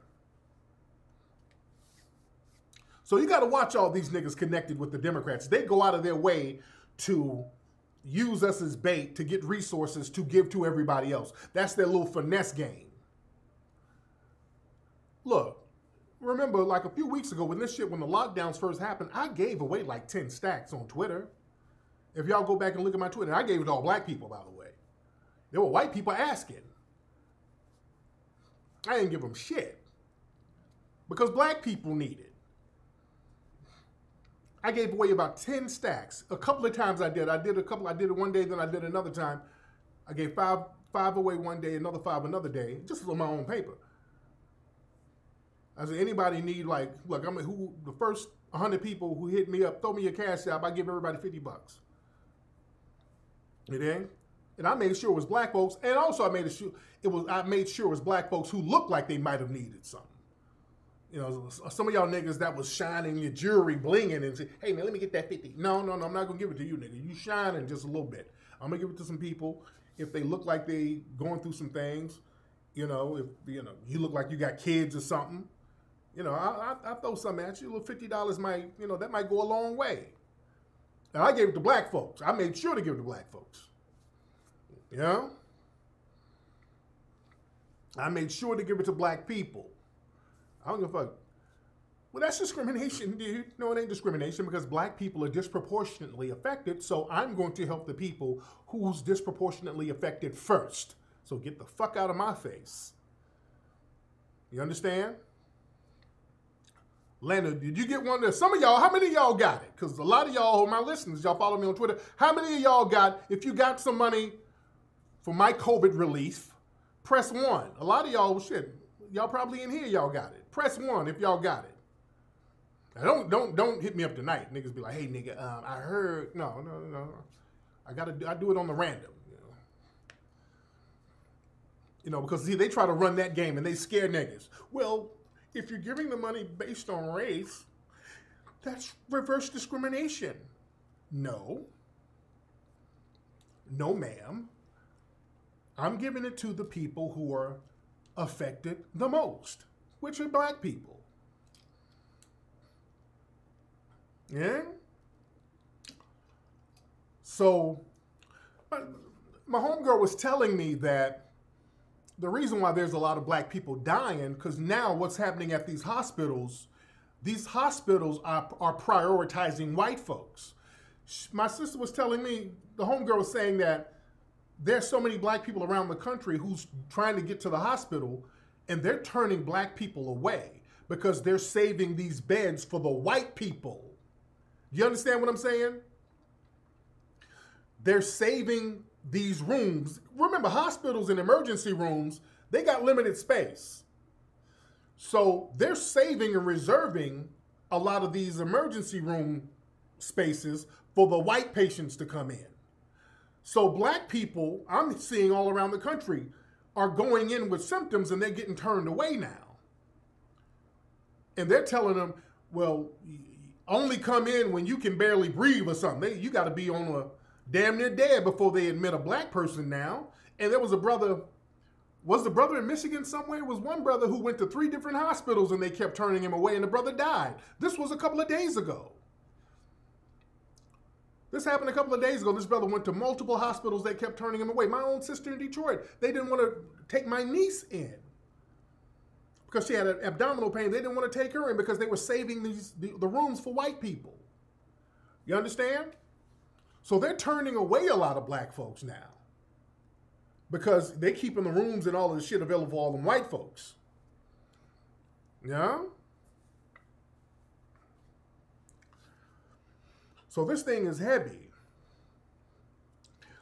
But when we talk about medical apartheid, we're not far off with this thing. These people have been practicing, listen, family, these people show racial preferential treatment with everything else, with jobs, with the way they enforce the law, in the court system, in the education system, do you not think they're not going to practice the same racial preferential treatment in the medical system? It's worse in the medical system. And let me tell you something, family. Black folks, we should have a distrust for certain people in the medical industry because they have a track record of doing devious things to black people and non white people under the guise of helping us. You understand? When they start talking about how much they want to help us in the medical field, you won't help us get an education. We ask for reparations, you won't give us that. But all of a sudden, hey, let us help you with these vaccines. Let us help you in the medical industry. And we're supposed to say, okay, yeah, you, you're trustworthy. Last time we did that, we got Tuskegee. But family, look at the history of these white supremacists. There was a doctor back in the 1930s named Dr. Cornelius Rhoads. He was from America. This was in the 1930s. Dr. Cornelius Rhoads. Let me show y'all a picture of Dr. Cornelius Rhoads. This is him. This is Dr. Cornelius Rhoads. All right. This is one article you can find, the horrifying letter in which the scientists confessed to murder. But this is this is um, Cornelius P. Rhoads, this white supremacist doctor who the Rockefellers, and I want y'all to, this is, I'm just talking facts in history. So, YouTube censors, we're talking facts in history right now. Dr. Rhoads, no, this is, you're thinking of Cecil Rhodes. Cecil Rhodes created the Rhodes Scholar thing. That's another white supremacist. But this is Cornelius Rhoads. This is another one he worked with the Rockefellers. The Rockefeller had like a foundation to find cures for cancer. And remember, a few weeks ago, I showed you guys a picture with Bill Gates' dad, with Fauci, with David Rockefeller, all of them all together. All of these people all together in a room at this meeting, at this at, at this event in New York. So they're all clicked in, by the way. So Rockefeller, the Rockefeller Foundation, sent this guy over to Puerto Rico. Understand this. A lot of black folks, a lot of black Puerto Ricans in Puerto Rico, especially in the 1930s. A lot of black Puerto Ricans over there. Do y'all understand that? People tend to forget that Puerto Rico was a slave colony.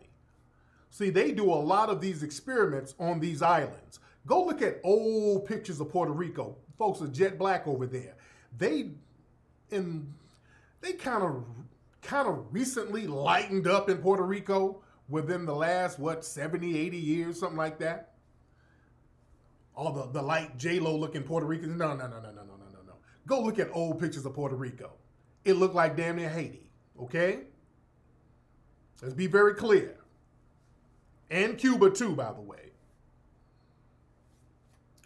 But they sent him over to Puerto Rico to do some experiments and treatment for cancer. Because this is cancer and the discovery of cancer and cancer treatment that was a kind of a new thing.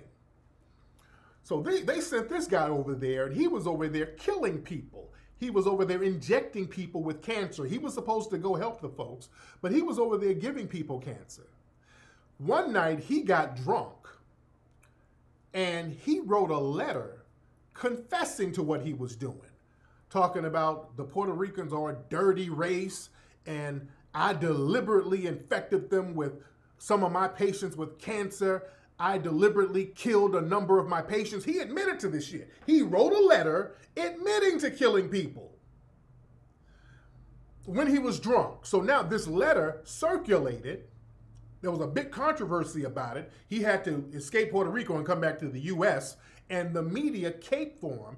His excuse was, well, I wrote the letter as satire. The letter was actually a parody. I just wrote it as a joke. See, the white supremacists always try to flip their shit and say, well, I'm just joking. And the white media gave him a pass, and he never got punished for that. Look him up. He got drunk and just started spilling the beans, and like, nigga, this is your letter. It, what you can't deny that you just admitted to murder. Oh, no, no, no, no. I was just joking at the time.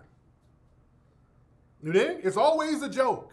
They always try to portray their bullshit as jokes, and they're dumb and they don't know what. I, I, I don't know. I was just joking. I wouldn't do anything like that. A tattoo of a, a white supremacist group. I don't know how that got there. I, I must have been asleep. Yeah. So this guy confessed to it.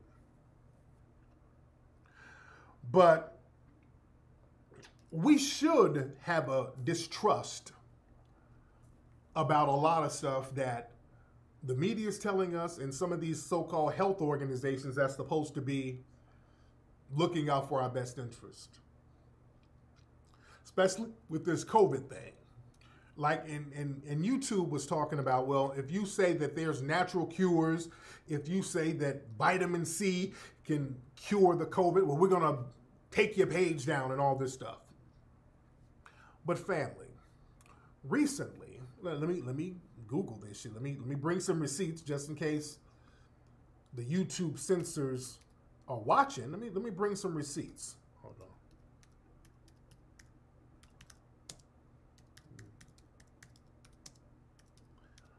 Okay, let me just let me just throw some some receipts out here. Just let me throw some receipts out here. Just in case the censors are watching just in case the censors are watching here, over in Madagascar, the president of Madagascar, which is not too far from Africa, is not too far from Africa. Madagascar is not too, too far from Africa. But the president over there, he came out and said that there's a natural herb that they got over from Africa Hold on. Yeah, let me show you all this. this I'm, I'm just reading YouTube censors. I'm just reading the news here. Madagascar distributes controversial miracle cure. Uh, this is just the news now. This is France 24. A lot of these, the international press is reporting on this, but they're not reporting on this in the American press, by the way.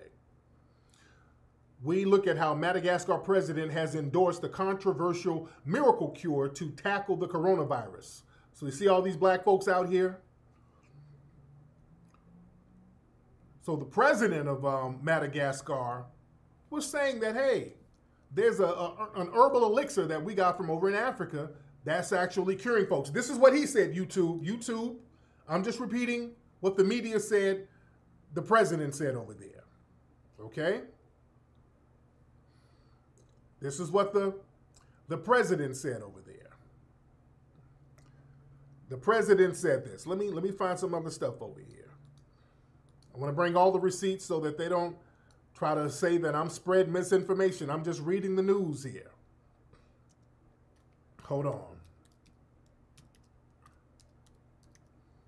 I'm going to bring all the receipts here just in case anybody got any questions. Where we at? Where we at? Where we at? Okay, so this is him right here. Okay. This is another article. I'm showing y'all different articles from different sources.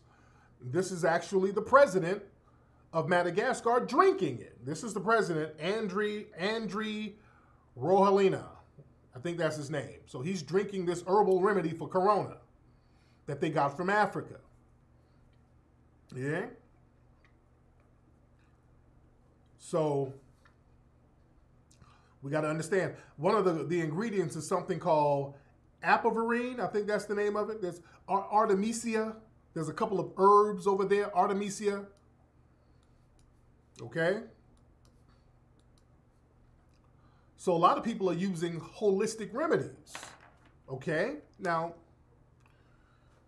of course, the World Health Organization is not going to want anybody to promote herbal remedies. They're not going to make any money. This is why they always got people out here trying to discredit Dr. Sebi that Kizzmekia woman who works with Fauci, she was out here trying to discredit Dr. Sebi. She had some tweets talking about Dr. Sebi ain't even no doctor. Why are people listening to Dr. Sebi? Bill Gates ain't no goddamn doctor. And we're supposed to listen to him. Bill Gates is not a doctor. You understand? So they got herbal remedies that that's being reported. I'm, I'm wording my using my words very carefully here. There are reports that herbal remedies over there knocking that stuff out. That's why in many African countries the the the the rates of it is so low. There's another doctor out in um, Benin. Let me let me show you some receipts here. This is another doctor. Hold on. This is a doctor over in West Africa, Dr. Valentin Agon. So this guy has something called apir was a apir a, apivirine. Apivirine, apivirine. I think that's how you pronounce it. Apivirine. That's something that he came up with, and they were using it for HIV, healing people over there, and they were using it they, uh, allegedly. I'm going to say allegedly so that YouTube don't ding my page, but this brother was saying that they were curing COVID. They cured a dozen or so people of COVID with this apivirine elixir that he came up with. This is Dr. Valentin Agon. And most articles about this guy is in French. Most articles about this brother is in French, so you can Google him for yourself. And the, the World Health Organization, I looked at their website and they were trying to discredit apivirine. They were like, "Oh, that's not working. That don't work. That's not that's not been formulated. It's not been tested." You understand? So they've been trying to you know, discredit that elixir. Because again, this dude is going to fuck their money up. That's going to mess their money up. When you have somebody saying, "Hey, wait a minute. We don't need to get all these crazy vaccines. Look, we, we got this over here that we got from the tree. We got this, and this is going to help people. Oh, no, nigga, you about to fuck up these trillions of dollars we about to get. Because remember, Bill Gates is already saying, hey, look, he's on, Bill Gates is running around the news now. They're like, well, Bill, what are we going to do? How can we fix all this? Hey, you know, everybody's going to have to get those vaccines if we don't want this COVID to come. And it's going to come back now. We're going to get the COVID back. But if y'all get my vaccines, I already got the scientists, I got the labs, I got everything. I'm I'm the plug. I'm the plug. So if y'all just y'all need me. So yeah, let's go ahead and make me the leader of the medical field. See, this is the global takeover, family. Let me let me be careful with my words so I don't get my, my, my shit flagged. Because if you say something about Bill Gates, you know, they're flagging niggas. Yeah? So let's talk in a hypothetical sense. Let's say I'm an evil scientist. Well, hell, let's say I'm not even a scientist. I'm an evil businessman. We're talking hypothetical.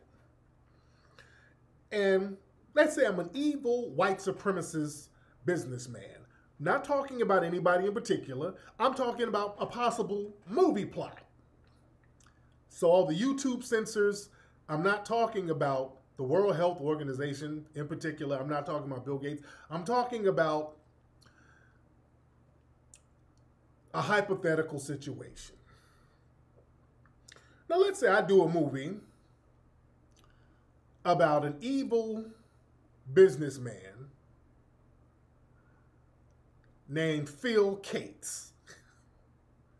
And Phil Cates said, Look, I want to get rid of half the niggas on the planet. And Phil Cates got billions of dollars.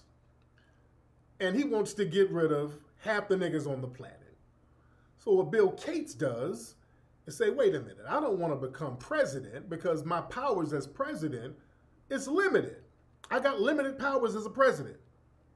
My powers only go as far as the country I'm the president of. So, what other model can I use to take over the planet, really take over the planet?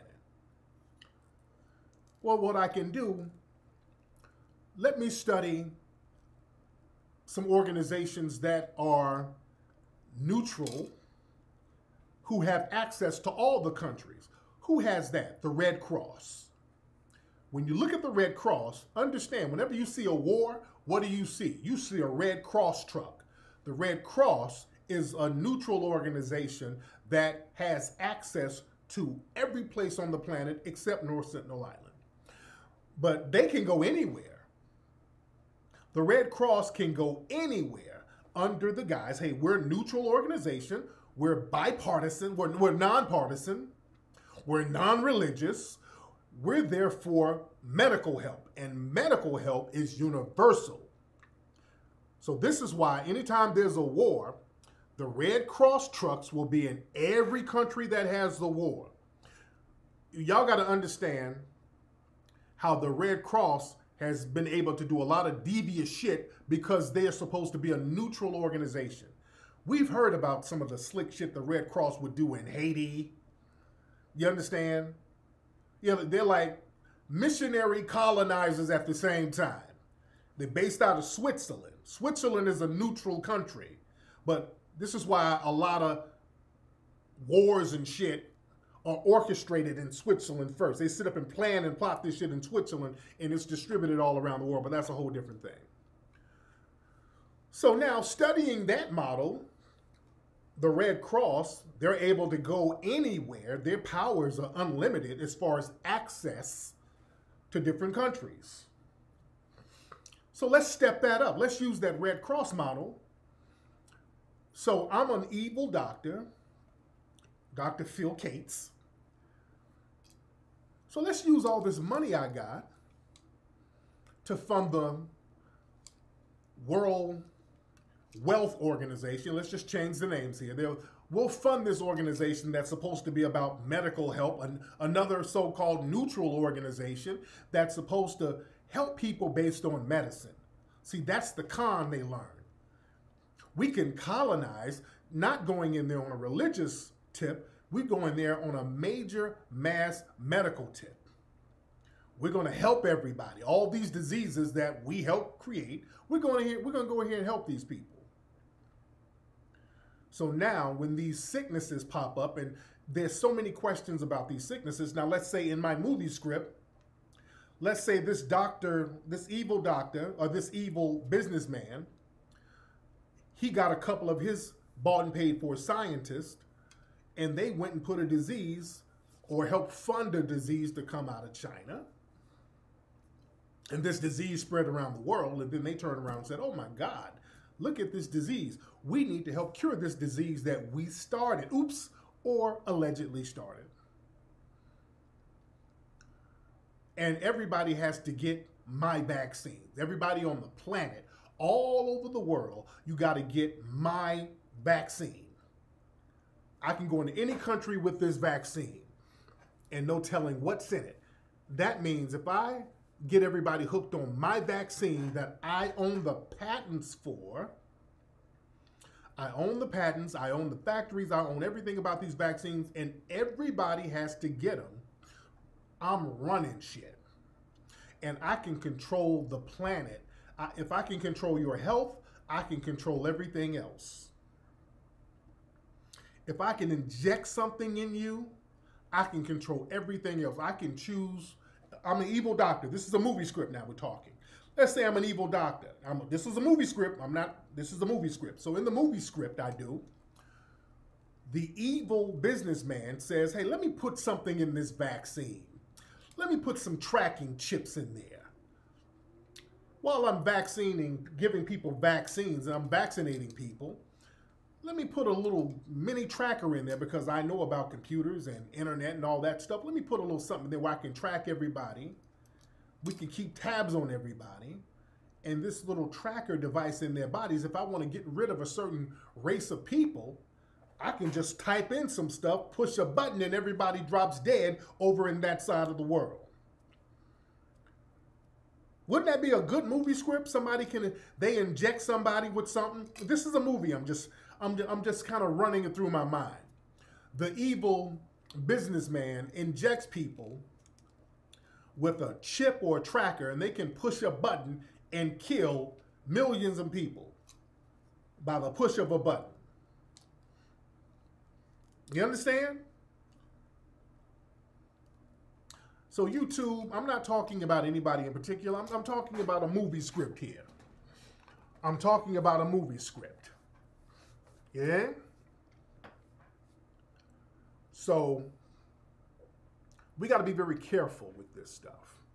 Your life imitates art. You understand? So we got to understand how devious these white supremacists are. We got to understand how devious they are. And we got to look, family, we got to really get on code.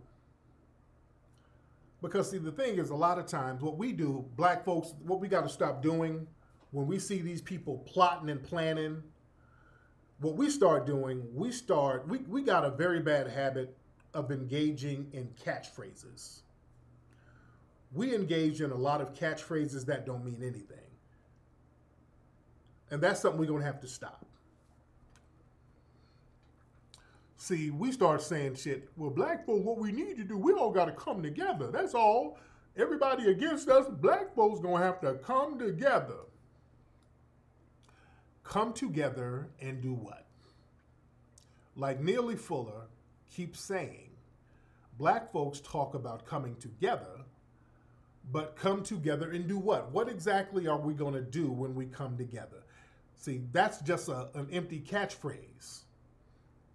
That means nothing. Family, stop getting into catchphrases. When we got to do better, stop getting into catchphrases. What do we need to come together for? Family, we're already together. Black folks, listen to me. We're already together. We're together in our subjugation. Come together and do what? That's a cop out. Saying we need to come together is a cop out. And we say it all the time. Black people, we're already together. The problem is that's our problem right there. We're already together. And that's the problem. Let me say it again. We're already together but that's the problem. The problem is we're already together. L- let me explain what that means. Black people get together all the time. We get together in large groups at church. We're together at church. I've been watching videos of black folks at house parties in the last couple of days now that they lifted the COVID. Not in certain cities, they didn't even lift the, the COVID stay at home order. I know they did in Atlanta, but in Chicago, there was a house party, looked like with a thousand people in there. Black people were together there. Down in Atlanta, black folks get together and go to the strip club. We go to the clubs, we go to the parties. We're together all the damn time. We get together to watch the Super Bowl fight. We get together to smoke and drink. We get together, all, we together in jail. We're in jail together, literally on top of each other. We're together in housing projects, literally on top of each other. We're together at the mall. We're together at the club. We're together at the skating rinks. We're together all the time. But we come together and we don't have a code to do anything constructive. We come together with no code. We come together without an agenda. And that's the problem. This is why a lot of times when we get together, we start fighting. When we get together, there is hostility because there is nothing constructive. Everything is idle.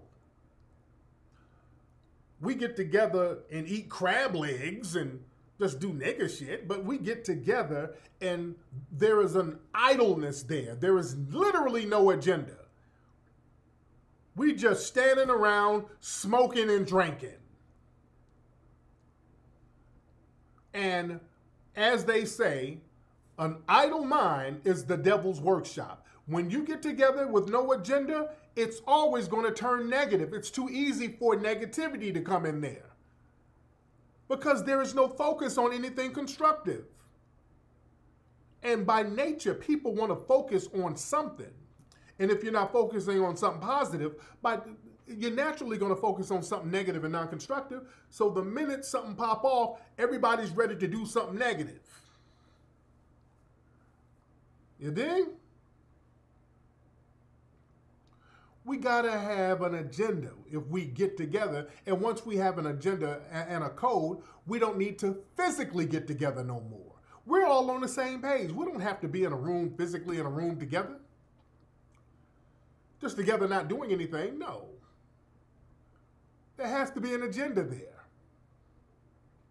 Yeah?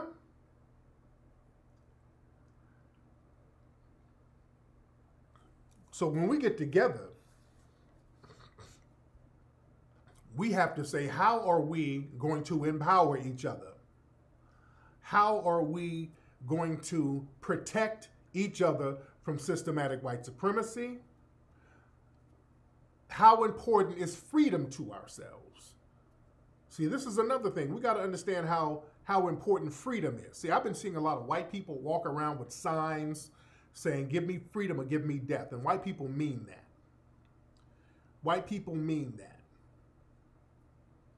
White people, when a white woman got arrested last week for playing at a park, white people went to the police officer's house who arrested her. White people went to his house. White people believe in freedom or death. We're not going to be treated like niggas. That's what niggas are for. They're supposed to be abused. We're willing to put our lives on the line before we let before we let the system abuse us. You know, we, we get harmed and we start marching and praying and begging for somebody to bring justice. Nobody's going to bring justice. I saw a story where it was a brother somewhere down in Georgia somewhere where he was jogging and some white people, a white man and his son, went and got their gun and they ran after this brother, cornered him and executed him. And this was an off-duty white cop who did this. He was off duty. The brother was jogging and they killed this brother down south somewhere. And the family's all on the internet crying, oh my God, we got to get justice. He was just running and jogging they didn't have to do that and nobody's punishing them. That's because we're in a system of white supremacy, family. Family, when you go out of your house, black people, you better expect to be killed by a race soldier because you're in a war. When you go out of your house, don't be shocked if somebody, a white supremacist, tries to kill you. Don't be shocked. You better prepare yourself mentally for that. That's your reality. We don't like to admit that. We don't like to admit that these white supremacists have us captive globally. And when we walk out of our houses, we could potentially be killed. We can be a hashtag that afternoon. When you walk out of your house, you need to think like that every single day. When I leave my house, I think that every day. This could be it right here. So you live your life to the fullest and you protect yourself as much as you can. But in the system of white supremacy, understand when I walk out that house, me and my kids can get got by these race soldiers at any given moment. This is why every day I'm working against the system of white supremacy. I don't take breaks. See, a lot of coon niggas out here, oh, all that white supremacy talk, why are you talking all that, man? Everything ain't about race now. See, that's a nigga who wants to live in denial. That's a nigga who wants to live in denial until a race soldier get at him. Until a race soldier gets at him. You understand? See, black folks, you're going to have to learn to think and handle business like white people. If you want to stop tyranny, act like white Americans. That's how you stop tyranny, folks. You have to conduct yourself and act like they act. I commend them. That's one thing I can give a lot of white Americans. I commend them for not allowing themselves to be abused. Be more like them as far as that's concerned. You understand? I saw this Facebook post by a suspected white supremacist. He used a lot of coded language here. I want y'all to see this. He said, All right, guys, we need to come up with a plan just in case I need to know who's in my group. In a case of a zombie apocalypse or a tyrannical government takeover, whose house are we meeting at? Who's bringing guns?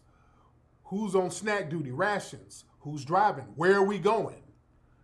We leaving a bunkering down. We got to vote for a leader or council. We can do training on the weekends, get our plan together. Run some drills. It's time to get organized. If Facebook deletes this, y'all know what's up. I respect this. Even though it's coded racism, I respect it.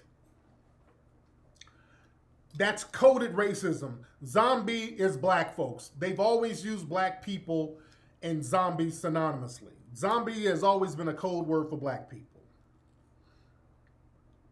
That's coded language. Zombie apocalypse. That means just in case these black folks rise up. I was talking to people the other day. Go watch the movie 1804. Okay? Watch my film 1804. We talked about zombies, the concept of zombies that came from the Haitian Revolution, family. Do y'all understand that? How many of you have not seen 1804? The concept that these white supremacists use about zombies came from the Haitian Revolution. It came from the Haitian Revolution and voodoo. In the early movies in America, when they would do zombie movies, almost every movie, the zombies were Haitian. When they would do all the early zombie movies in Hollywood, the zombies would be Haitian. Then they would make some of them African, but they were always black. The zombies were, uh, and zombie comes from Zambi, which is an African word, but they would always make the zombies Haitian. And in these zombie movies back in the early 1930s, and go look them up, we, and go watch 1804. Really go watch that movie. The zombies would always come up because some white person went over there and um, struck up some voodoo somewhere. They would it would be voodoo. Then the niggas rose up and start killing white people. That's what the early zombie movies were. It was all about voodoo, Negroes turning into zombies and killing white people. That was the Haitian Revolution, family. And look at all the zom- the early zombie movies. When they talk about voodoo and zombies, they would always have some of the voodoo um, um, deities like Papa Legba. They still have the Papa Legba image, all that stuff. Baron Samedi. As a matter of fact, the Joker character from Batman is based on the Baron Samedi, the same purple outfit with the face paint. Look it up. Look up all this stuff. So, and, and shout. This is shout out to Ogun. This is Ogun. This is the Ogun. Speaking of, you know the those Vodun deities. This is Ogun, one of the most feared. You dig? That's why Marvel Comics they study this shit by the way. They study this shit. But the fact that the Haitians study that, how, how, why was that revolution so successful? See, the, the movie 1804 is a great study in military science. It's not only a great historical piece, it's a great movie about military science. Okay? Because what did the Haitians do? You you learn about warfare. That, yeah, the Baron Samedi, yes. The Baron Samedi. Look up the Baron Samedi and the Joker. The Joker is based on the Baron Samedi. Look that up. Look up the Joker and look up the Baron Samedi. They got the purple outfits. Look that up. The Baron Samedi. I, said what did I say? I, I think I mispronounced it. It's the Baron Samedi.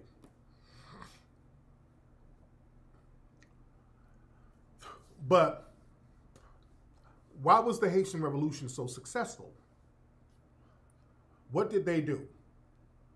Number one, they decided that death would be better than living a life of indefinite torture. They decided that it's better to risk your lives than to live in infinite torture. And then what they did, they said, okay, we need to get rid of the white God, meaning Jesus, the white God that we've been worshiping. These French people have taught us to worship a white God. These French people have taught us to worship a white God. So what they started to do, they started to slowly get an agenda. You understand? See, they like black folks being together bullshitting. They like black folks being together, playing and partying and singing and dancing. But what they would do, they got together and they got an agenda. They said, look, reject that white God. This white God ain't working for us no more. This is Bookman. They got Bookman out of Jamaica and brought him over to Haiti.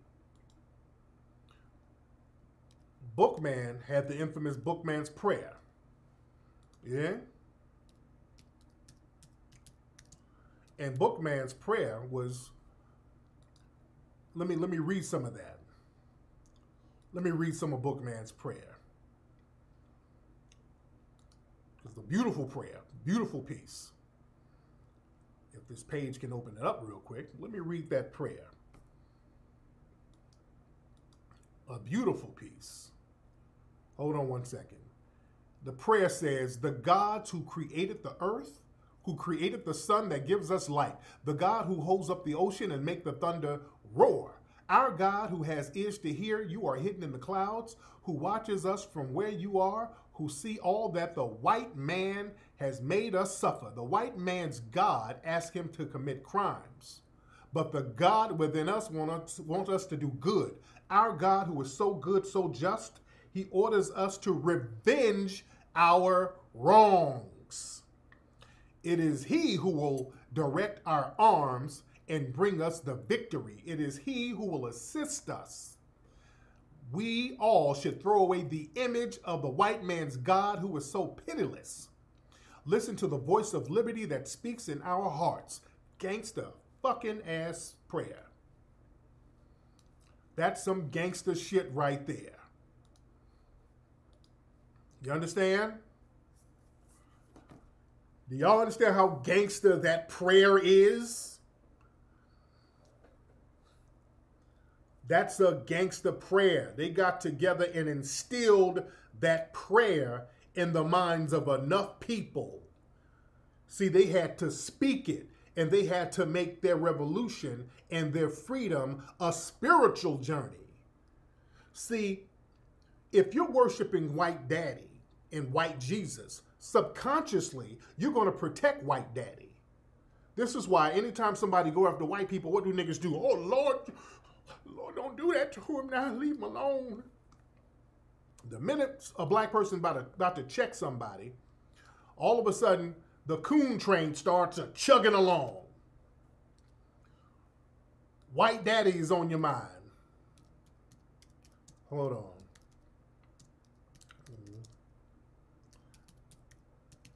Every time,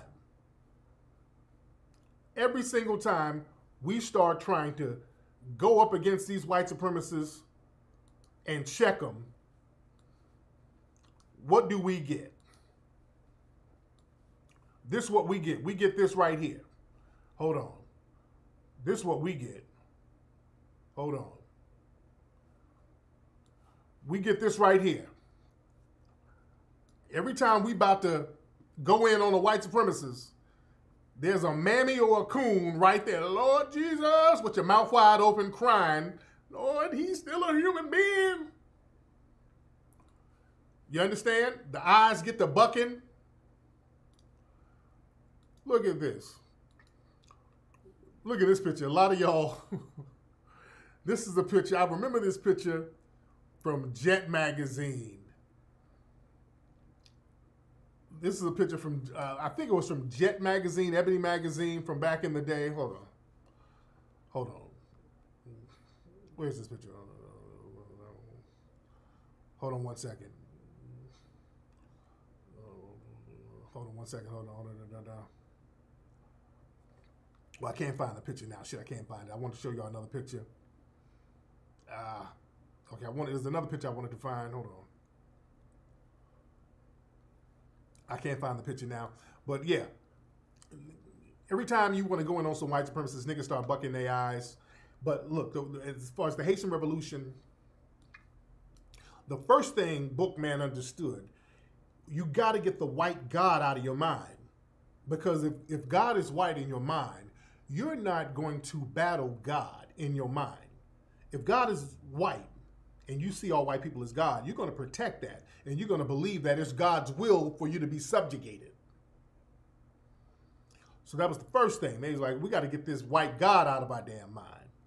Number one, and realize how devious this motherfucker is. The white supremacists, they are not our gods. Let's get them out your mind. God wants us to rise up against that. God wants us to get revenge.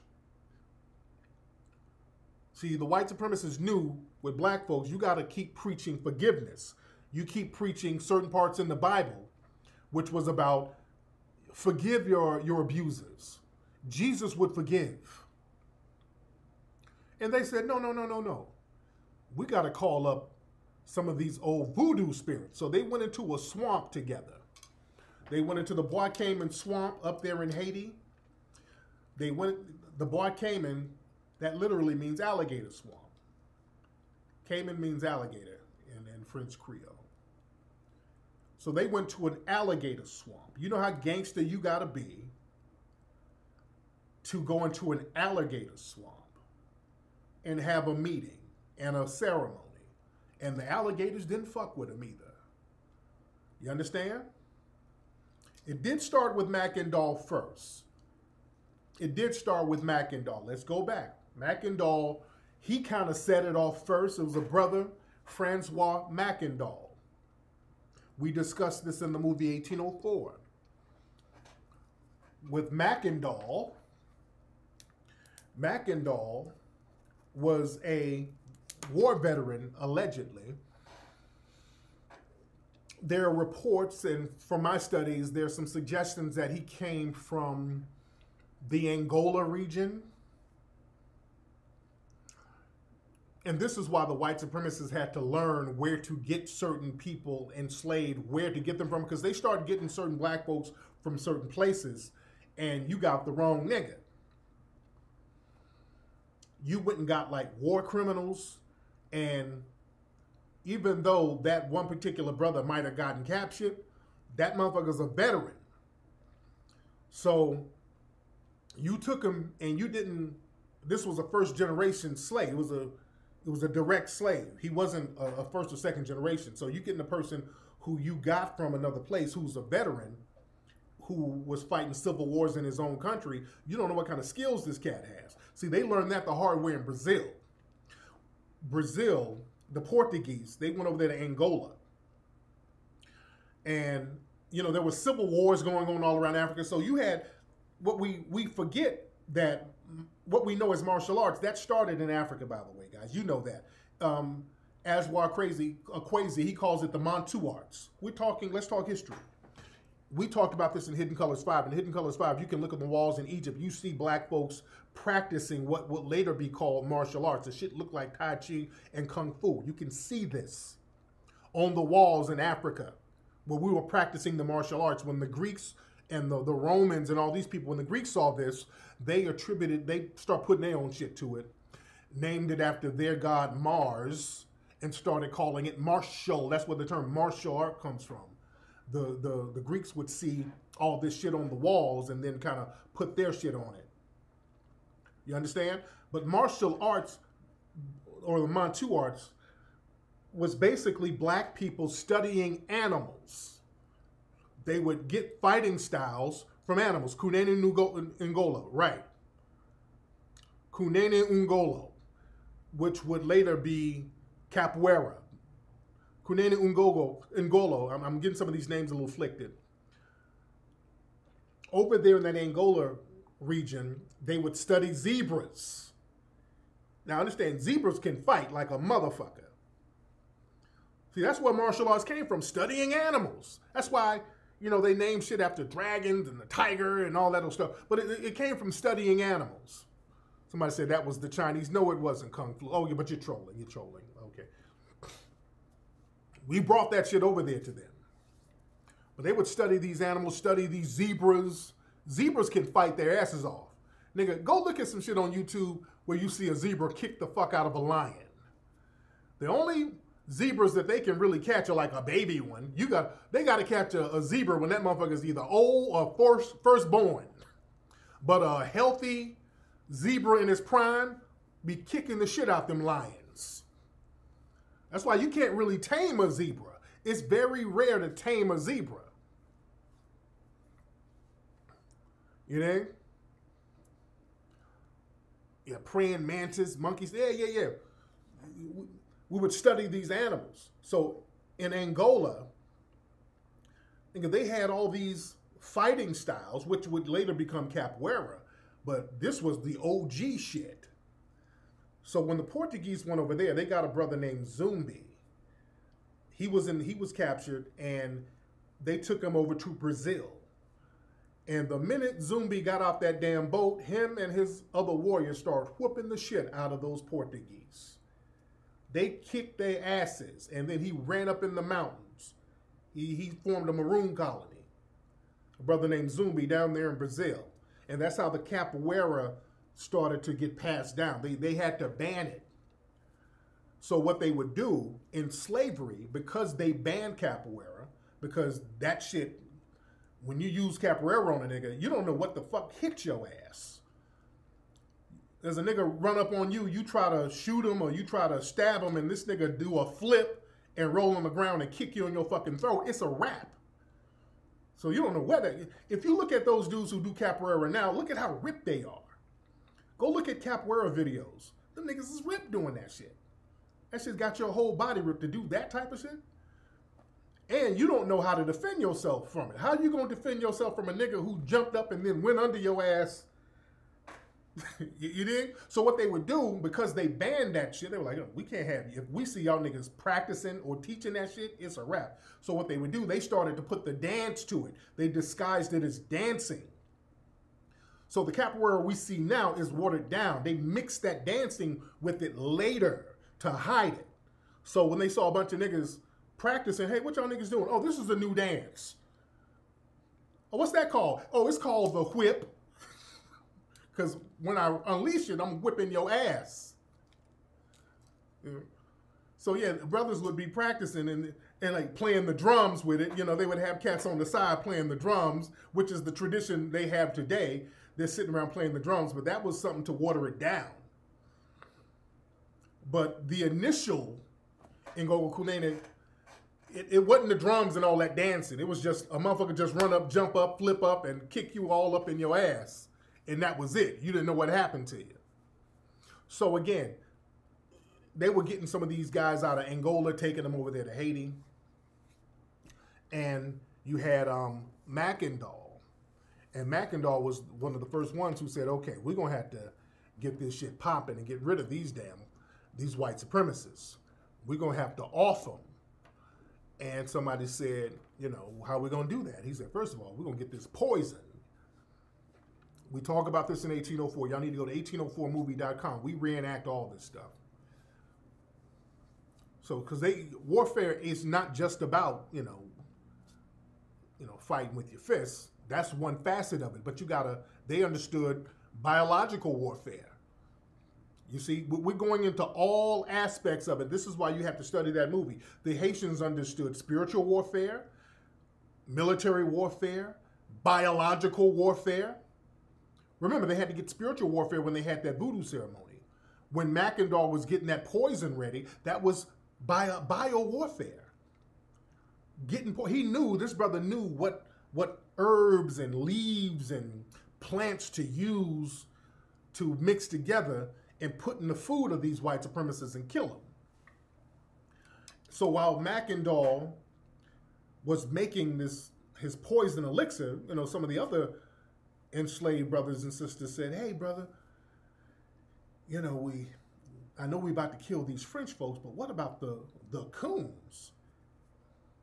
Because these coons are a problem." And Mackandal said, "Well, nigga, who do you think this first batch is for?" Nigga, this first batch got coon written on it. That's who this one's for. First, we killing some coons first, just to let folks know we ain't bullshitting. See, understand warfare. They they don't have that. They didn't have the mentality. We all got to get together with it. Fuck all that. See, we got that mentality where we got people working against us we got niggas who are clearly working with the white supremacists, and we got we still got niggas talking about, well, he's still our brother. That's still he's still black. That's our brother. We still need to get together. Now hear him out now. Where the fuck did that stupid ass mentality came from? Where niggas working against us and we still got to sit up and cape for him? No. No. Get out of here with that bullshit. We still got that mentality. There was some mammy bedwench trying to argue with me on Twitter because we were clowning um, Lori Lightfoot. There was an old picture of her looking like kid from Kid and Play, and people were clowning her picture because you know Lori Lightfoot is an enemy of black society.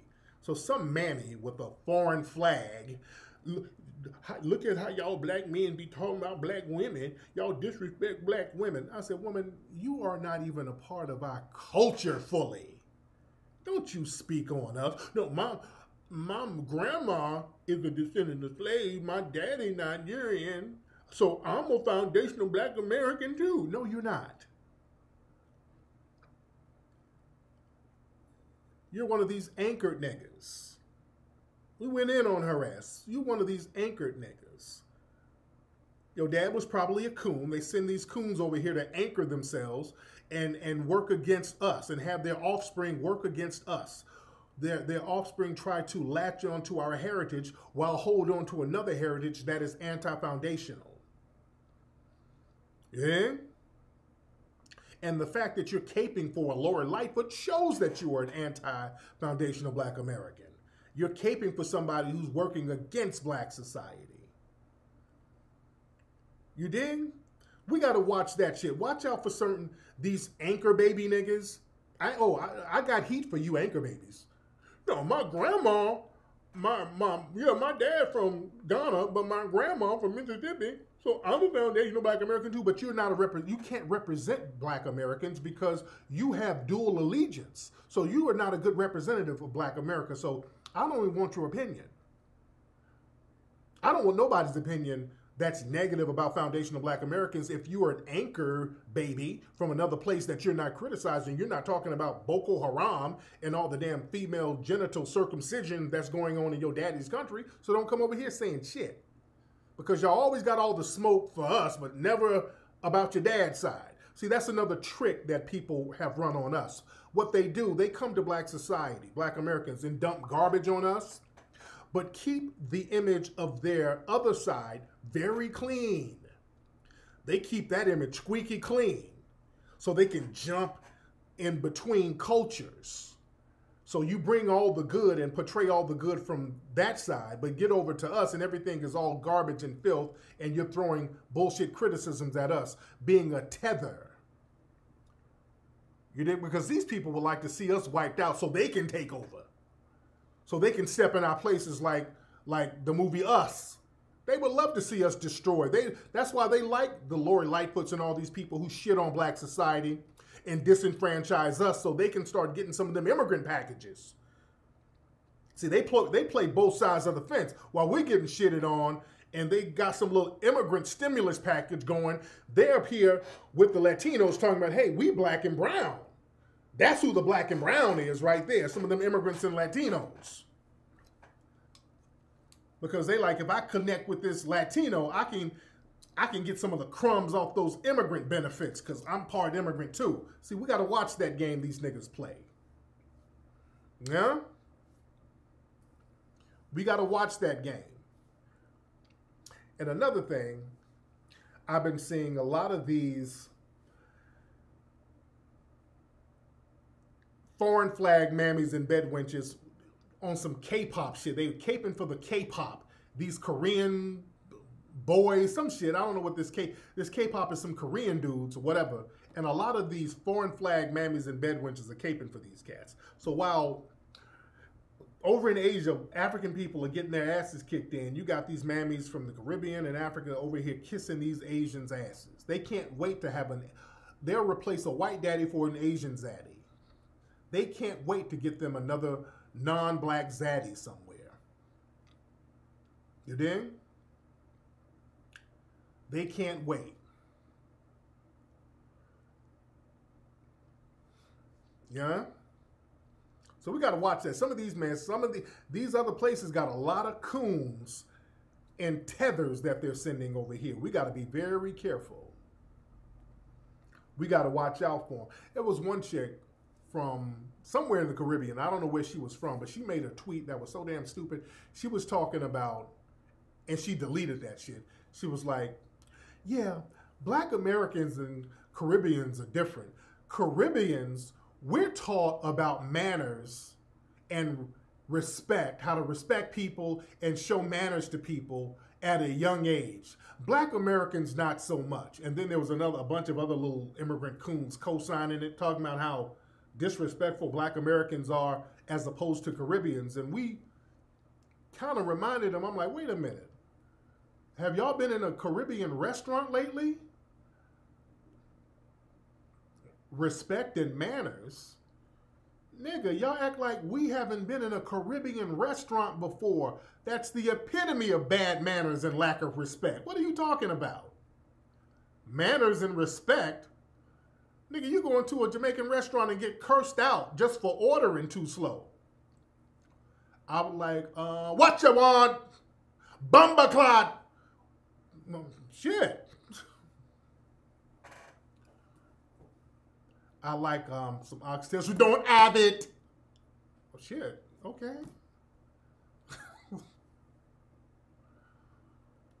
um, can I get festival bread? No, you can't. Okay, where's all these manners y'all talking about? Where's the manners and respect?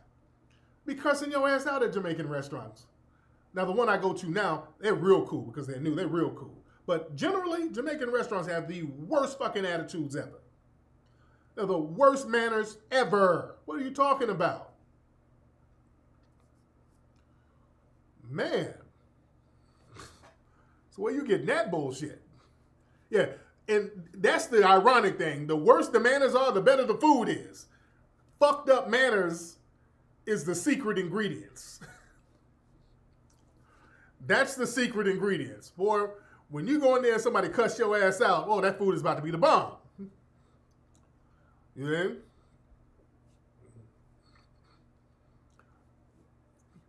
So, but like I said, getting back to the Haitian Revolution, we're talking about the Haitian Revolution. It's why y'all got to study the movie 1804. So Mackandal, he started it off by killing the white supremacists with poison. He started to poison their asses.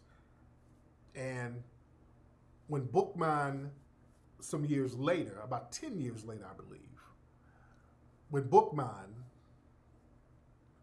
and others had that Bois Cayman ceremony, had that voodoo ceremony, they started calling up some of those African deities. They started calling up this brother, Ogun, the god of war, the god of iron, the god of the god of vengeance. You see here, this is a, this is a god with a sword. They start calling up Ogun. You know, they made it a spiritual thing. You understand? And they they understood whatever you have in your spirit, everything, because the spirit is in your heart. The spirit is in your heart. That's why the white supremacists like to get you with religion first. The first thing they hit niggas with is religion. They go in there, they send the missionaries in to get white supremacy in your heart. This is how they get, this is why so many African mammies and Caribbean mammies are fucked up now. Because what do they do? Over there now, let's be real, in parts of Africa and the Caribbean, when the white supremacists, when they economically create deprivation, you got a lot of black folks here, they don't know. All they see is other black people. When they see other black people, they blackness, poverty. When a white person shows up, usually a missionary, what do they see? A, a white person, angelic looking, with tangible gifts. The white person has food, the white person has medicine. The white person has built a little water well for him. The white person then gave him some shoes. So anytime a white person pops up, the white person is grinning. Even though in the white person's mind, the white person, they're grinning and bringing a pair of shoes, but they just dropped off some goddamn Ebola in the river. But they haven't figured that out. But they just brought you some a fresh pair of J's. They done brought you a weave. You did white daddy didn't showed up, white mommy didn't showed up bringing some gifts. So now you think whiteness is goodness. Everything white, good things come out of it. And then they say, hey, look, you want this sandwich? little Nduge, I got a delicious. I know you haven't eaten. I know you've been eating. Um, I know there's there's been a drought because we've built a corporation down the street and fucked the water up. But yeah, that's neither here nor there. But I know you haven't eaten. But I have some. Um, Have something called a Popeyes chicken sandwich. I'm going to give you the Popeyes chicken sandwich. It's so delicious. And by the way, before I give you the sandwich, um, uh, have you accepted Jesus in your heart? Who is Jesus? Who is Jesus? Oh, Jesus is great. Uh, Jesus is the God of, of all things. He Jesus brought you this Popeyes chicken sandwich. He really did. He brought the chicken sandwich. Yes, taste it, taste it. And he takes a bite of that damn Popeyes chicken sandwich. Ooh, ooh, this is delicious. That, that's Jesus. Jesus brought you that. Jesus brought the sandwich? I can't believe it. Tell me more about Jesus.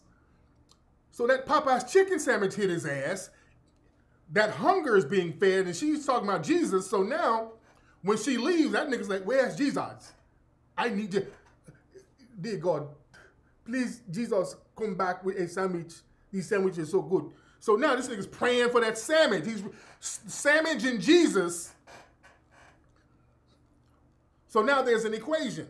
He then got fed, and it was some white man who did it.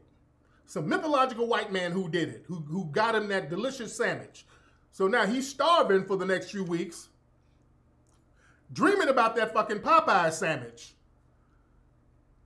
You know, he ain't got no rice. He's, you know, eating old rice from China. Eating, oh, shit. I, I got the protein. It's a sandwich. I got the protein. So he's thinking about that goddamn Popeye sandwich, eating that fucked up rice. Shit. Oh, when is Jesus coming? Where is Jesus coming? Oh, this is bullshit. This is bullshit. Where's Jesus? Then the white person show back up. Then he starts bucking. Them eyes get to bucking when he see the white person come with some more Jesus paraphernalia and two sandwiches. Ooh, my prayers have been answered. Jesus is back with two sandwiches. I love Jesus so much. Tell me more about Jesus. So now this nigga is a full-fledged Christian who believes in white Jesus. Ain't nothing wrong with Christianity if you believe the Africanness of it. But now, Jesus, white, goodness, God, all becomes one and the same. You in? Now you you eating good, they telling you Jesus brought it, and they're making you recite this shit. They're converting you. Now, before I give you the sandwich, let's pray. Thou, Father, with which art in heaven. Now, we got to understand forgiveness. Forgiveness. Do I get the sandwich? No, no, no. We got to read some more. Um, so we're gonna read a little bit more here. Let's let's bring your children in so we can read. And you you you eating that sandwich, and your kids get that sandwich. Their little eyes get the bucking. Ooh, Papa, who is the white woman? She's telling about Jesus. Oh, so everybody's eyes are bucking now. Everybody's fucking eyes are bucking now. They're converting people, putting white God in their minds, associating that with goodness. So now you don't want to mess that up. You don't want to mess that up.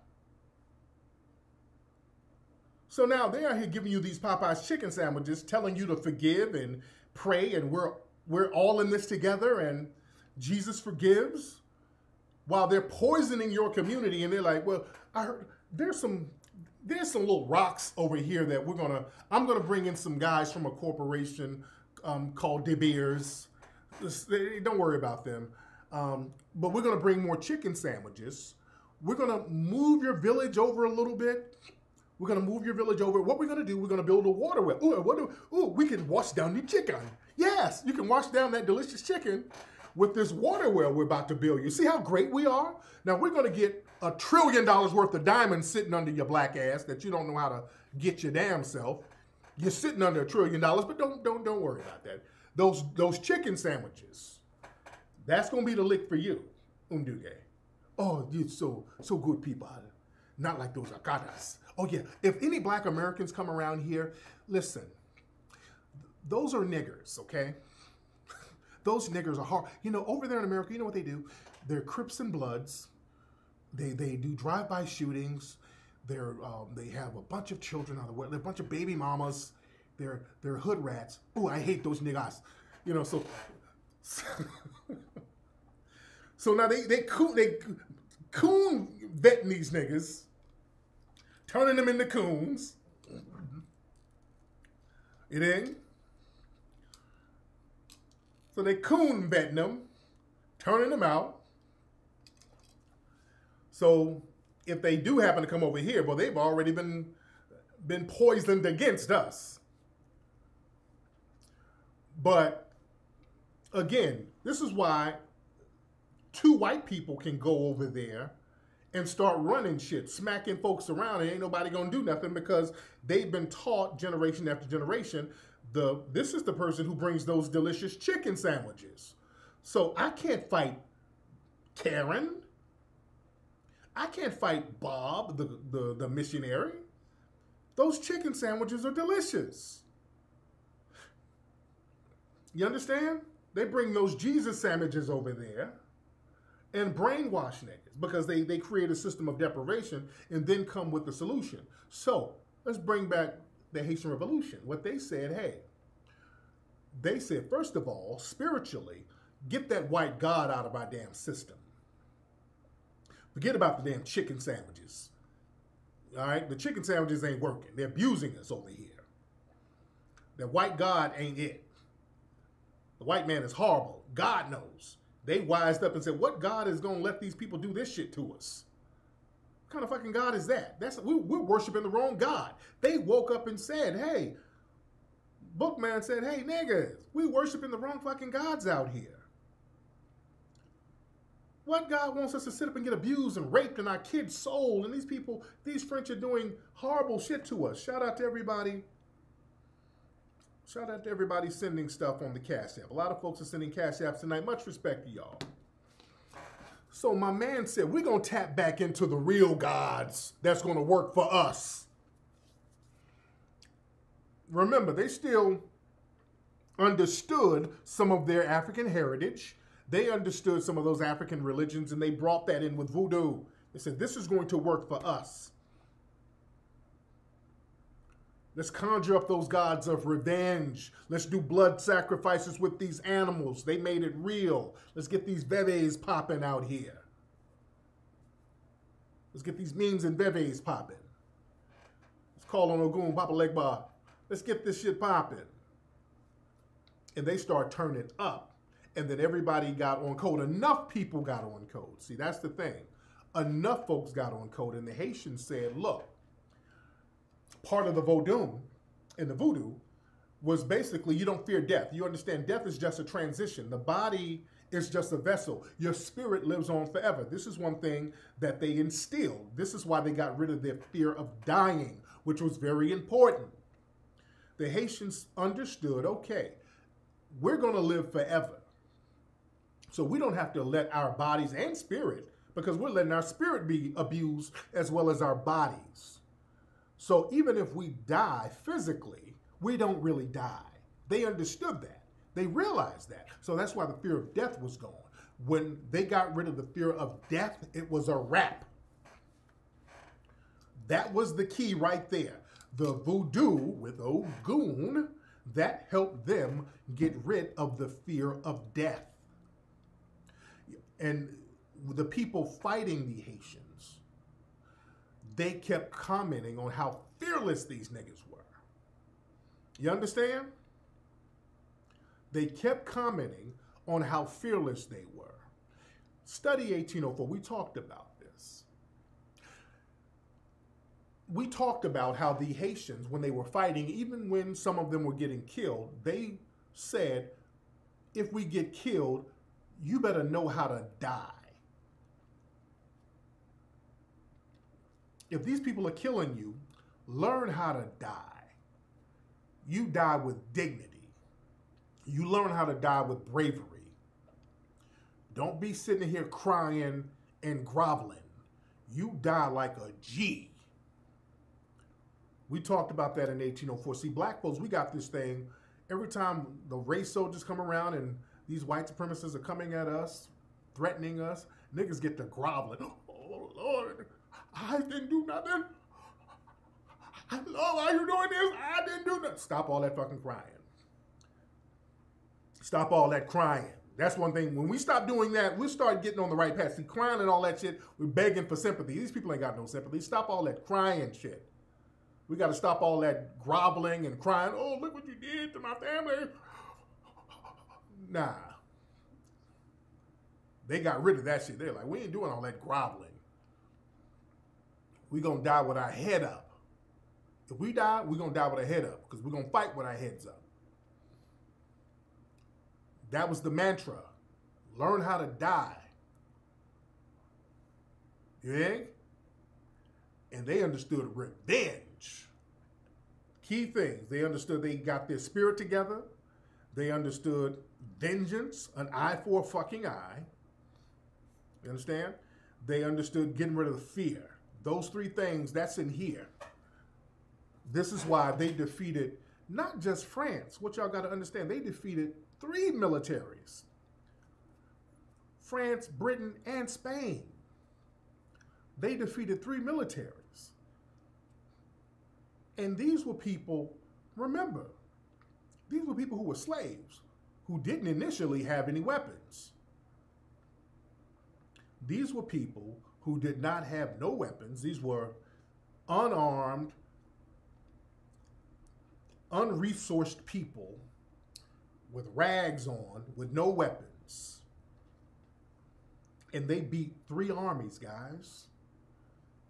They defeated three goddamn armies. You understand? And they did it because of them getting rid of the fear of dying. They're like, we're going to go all the way out. And they had everybody on code. They would die with pride you had people going on suicide missions. You had children fighting and going on suicide missions. We talked about this in 1804. When they brought in cannons, you would have a Haitian kid would go jump in a cannon and the kid would sacrifice his life. The kid would get killed because it would stop the cannonball. The cannonball would kill the child. And he knew he was going to die. But this kid was on code and he knew I could fit in that cannon. I'm doing this for my culture. They did kamikaze missions. They went in, stopped those cannons, and then the Haitian adults would come in slicing and dicing. You dig?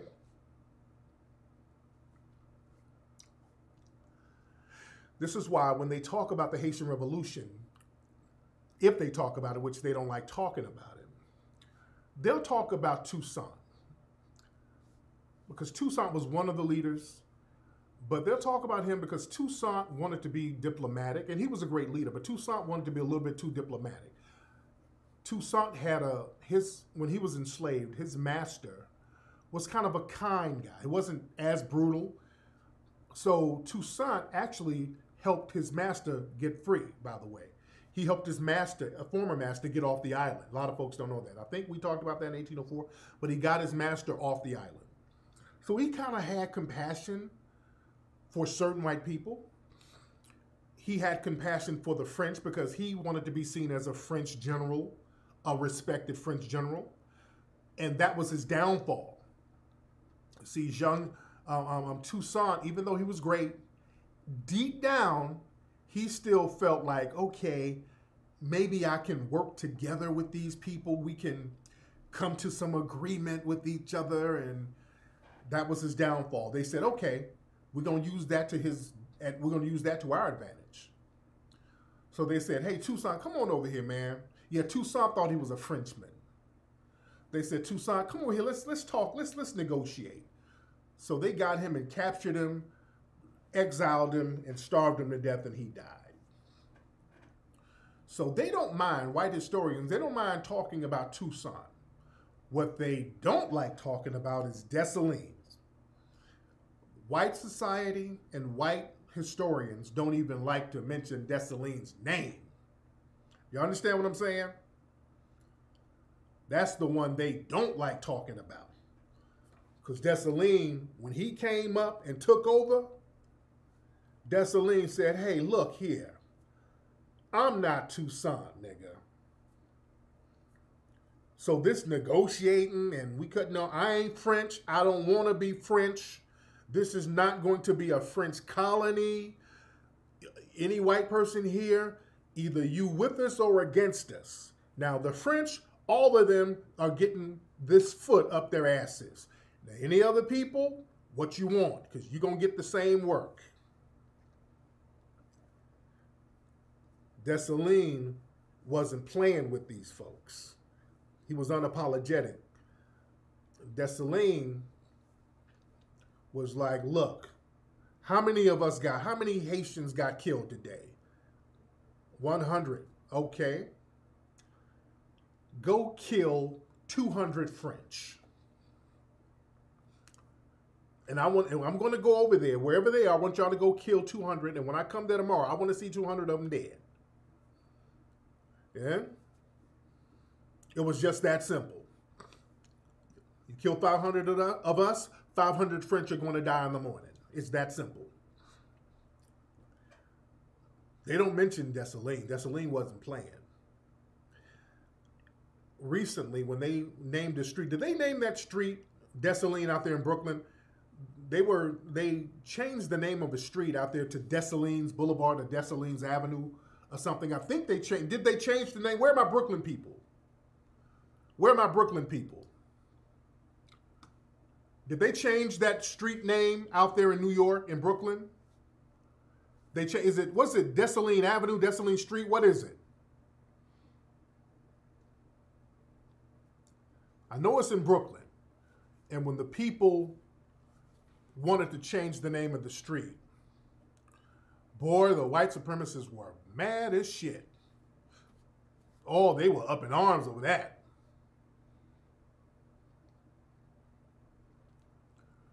They were really pissed off over that. They're like, hey, Dessalines was a terrorist. I know Tucker the sucker, Tucker Carlson was mad. Oh, they were really pissed off that they were naming a street after Dessalines.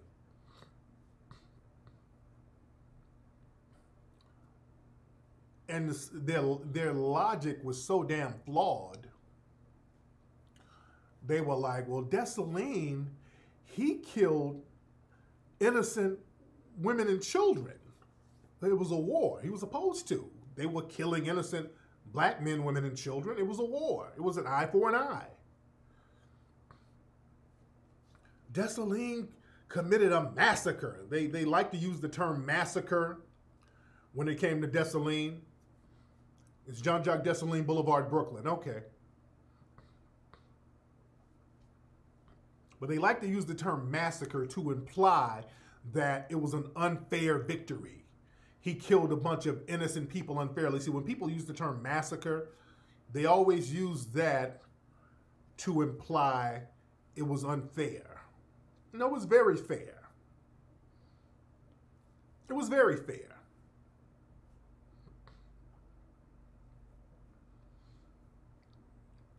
Oh, they think that black folks were just supposed to be slaves. You were supposed to be enslaved and just take it. You were supposed to rise up and cut that bullshit out. That's why they don't like Dessalines. Dessalines was like, all those people over there, all them French, all those slave masters. What was that sepulchre? What was, what was the term? Boulicar sepulchre? I forgot the some of those terms, those terms I forgot. It was like what off with their heads and burn their houses down. Sepulchre boulicar. What the what the hell is that term? I can't think of it right now. Where my, my Haitian brothers in here? But he was like, yeah, all them French cut their fucking heads off and burn their houses down. Because see, Dessalines, he was abused by his white slave owner. His white slave owner abused him very badly, so he never forgot that shit. And they said the same thing to Nat Turner, yeah. Yeah? Coupe-tete Boulicar, yeah. Coupe-tete Boulicar. That's right. Burn it down, off with their heads, cut their heads off, burn it down. Coupe-tete Boulicar, yeah, that was a mantra. Kupatet Buleka. That was a mantra out there in Haiti. That was a mantra. Cut their fucking heads off and burn their shit down. So tapping into that that that spiritual system, that was the first step right there. That, that was the thing that's going to give you that internal power. You understand? And just getting the right spiritual energy around you is very important. Now, when we did the movie 1804, which uh, that's required viewing, by the way, everything I'm telling you guys now, it's in the movie 1804 in vivid color. It's a in vivid action. One of the best movies I've done because we had a great time doing that movie. I put a lot of energy in that movie. Let me tell you something.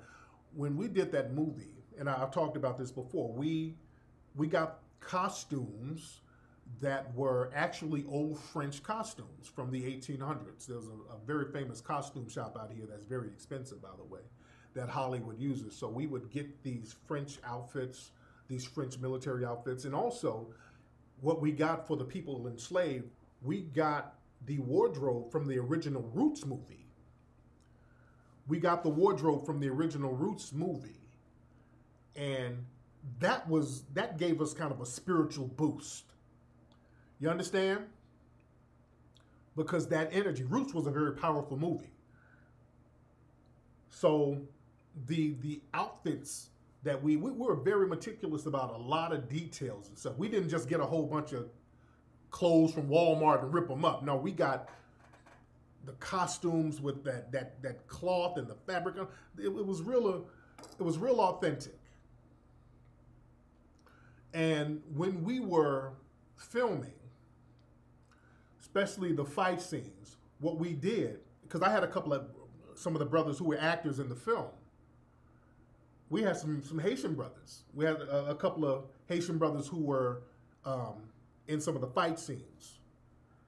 We had a great time. I, I hired so many people, and one night we did a voodoo ceremony. We did a reenactment of the Bois Cayman voodoo ceremony. We did it on, we, we filmed on location over in Altadena. We had a real big, I, I shoot a lot of stuff at this place, but it's a big, like a farm place that we, we did.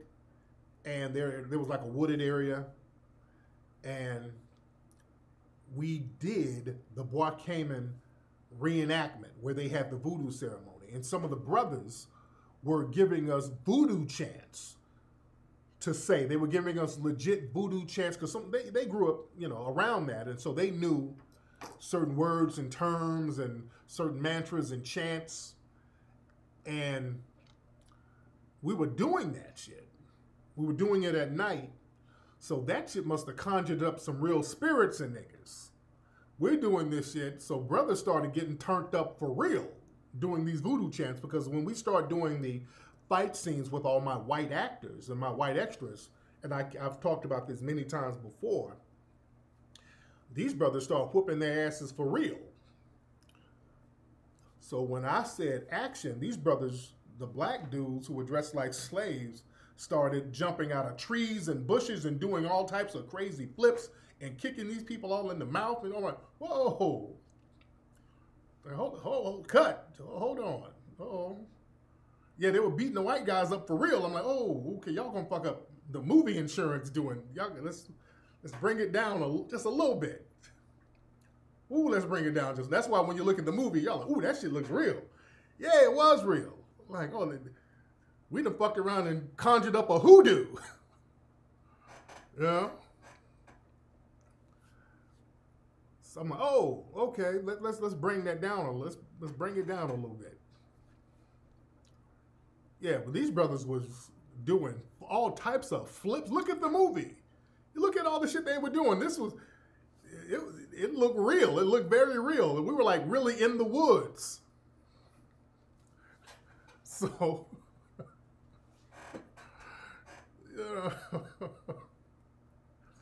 they were getting it in. These brothers was kicking, fighting. One dude, my man did a kick on one guy. This one white dude, he, cause I'm, I was kind of far away. I was like, action.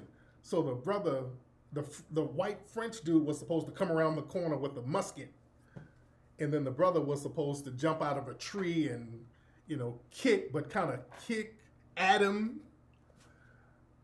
And I was like, action. So the brother jumped out the tree and jumped in the air and kicked, and then the the white actor fell back. I'm like, oh shit, that's a great take. Yes. Uh, let's do let's do a, another one from another angle. So I went around the corner, and this motherfucker was still laid out. I'm like, oh shit. he was still. I say, okay, cut. This motherfucker wouldn't move. I said, bruh. I was uh oh. I said, I said, brother, you all right? No. I'm not trying to laugh at dude. I don't want motherfucker to see this. Oh, this fucker tried to hurt me, man. No, I wasn't. If you're looking, up, we weren't trying to hurt you, brother. But yeah, this is an 1804. He turned into he turned into Scooter the Shooter. Fucking A, man. Fucking ouch, dude. I said, uh oh. I said, okay, you all right, brother? Oh. So, yeah, I said, don't break. Yeah, you're supposed to be French. Hello, oui, oui. Bon de lui. Parlez-vous français? Oui. Fucking ouch, dude. Fucking hurts, man. They start breaking character on my ass. You're supposed to be French, dude.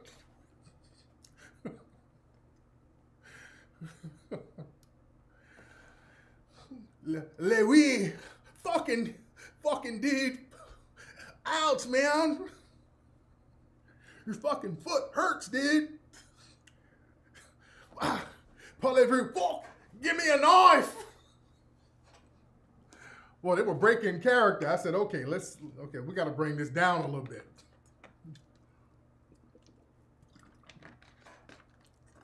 We got to bring it down just a little bit. They, they turn into white crispy. Are you serious, man? Are you serious? Are, you stole me, everybody. You stole me, everybody. Are you serious? So I think I saw one of them in a French costume on the phone. Hello, police? Yes, I was just kicked by a, a Haitian slave. Yes. I don't know where I am, dude. I'm in Haiti in 1804. I don't know what year it is, man. Just send somebody, dude. And I think they called the police on our ass. All right, brothers, let's let's bring it down. Let's bring it down. Let's bring it down a little bit. bring that shit down. But um, yeah, well that that spirit got their ass. The spirit got up in them brothers, heavy. Yeah, the spirit got up in him heavy. Like I said, there was one girl. We're doing a scene where we're all. There was like a scene where everybody was being housed in a ship, and and so one sister started freaking out. Oh, okay. It was it was it was a very good movie. We had a lot of fun doing that movie, and again, the casting of that movie was phenomenal. The casting, oh, we we lucked up with the casting. We we got so many great folks. The guy who played um, the guy who played um, Rochambeau, he was great because he he really spoke French and he he was into fencing for real. He was great. The guy who played him, Rochambeau, was great. The guy who played Napoleon, white guy named Scotty, he was great. Go watch that movie. We it was that's such a good movie, man. The casting was great. We got a motherfucker who looked just like Napoleon. It was an actor named Scotty. I can't think of Scotty's last name. He's a short dude because Napoleon Bonaparte was very short. So he went. He said he went and got his hair cut like Napoleon. This motherfucker looked just like Napoleon. Oh no no, the moist dude played Toussaint. The moist dude played Toussaint, but the dude who played Dessalines, uh, he looked like he was big, muscular brother. He was great playing Dessalines. The guy who played Napoleon was phenomenal, phenomenal guy. I mean, this motherfucker looked just like Napoleon. Great guy now the guy who played Toussaint, and the guy who played Toussaint, Well, the thing is, the guy looked like Toussaint, and what we had to do, if you look at 1804, you see we had to make him look older. We had to make the guy look. He was he was young, but he looked like all the paintings of Toussaint Louverture. So I had a great makeup staff. We had some hotshot makeup artists. So they made him look older. They put gray in his hair, and you know, if you he he looked older in the movie. Also, yeah, this guy, good guy by the way, very good brother, real good guy. He was a little moist. He was a little moist. I don't know what the brother, what his lifestyle was. Very good brother, and I'm not saying this is not an insult. This is not an insult, but he was a little moist. But he was a good dude. He was a good dude. He was a good dude. I hired him. He was a good dude. Because he was just a little moist, I couldn't really keep the fight scenes. That's why if you look at the movie, you don't see the guy playing Toussaint in any fight scenes. If you notice, we just kind of have him being still you know, we'll show him kind of walking and standing. We'll just move the camera around. Good guy, and I'm not saying this to distance. He was a real good, but he was a little moist. He was a little, very good brother though. He was a good brother, good brother, and that's my brother. Much respect, but he, nigga, the fight scene. No, I couldn't. I couldn't keep the fight scenes with the brother, man. I couldn't keep the fight scenes with him. Yeah, that that wasn't gonna work at all. yeah, yeah, you don't. Yeah, he wasn't fighting in the movie. I cut his fight scenes out. I cut his fight scenes out. You know, because my nigga, he had a sword, and I said action. That nigga went. That nigga was swinging. That nigga start swinging like that. I said, "Oh shit, okay, all right."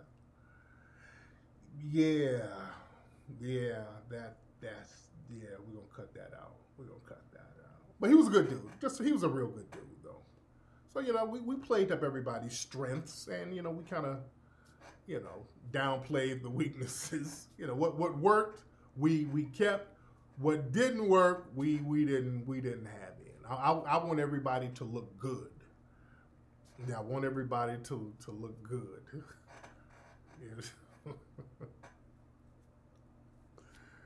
Yeah. So, but he he did good for the scenes we had him in. He the brother did good for the scenes we had him in. Yeah. Where's D? Is D Tubman in? Where, where is she? I haven't seen D in here tonight. Is she in here?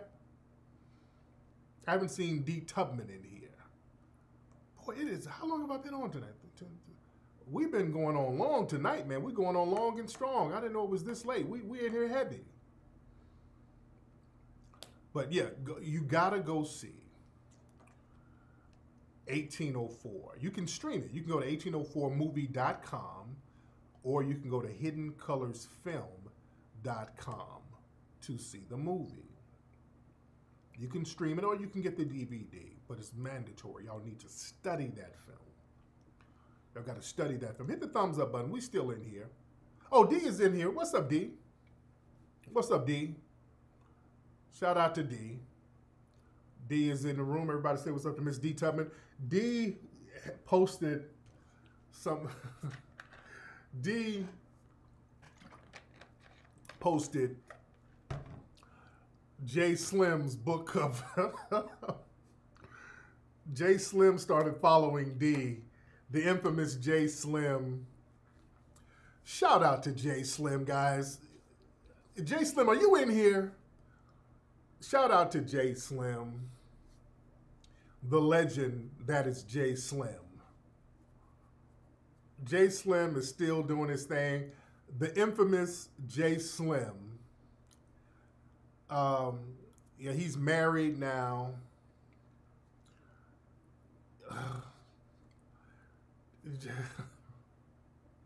The poem man.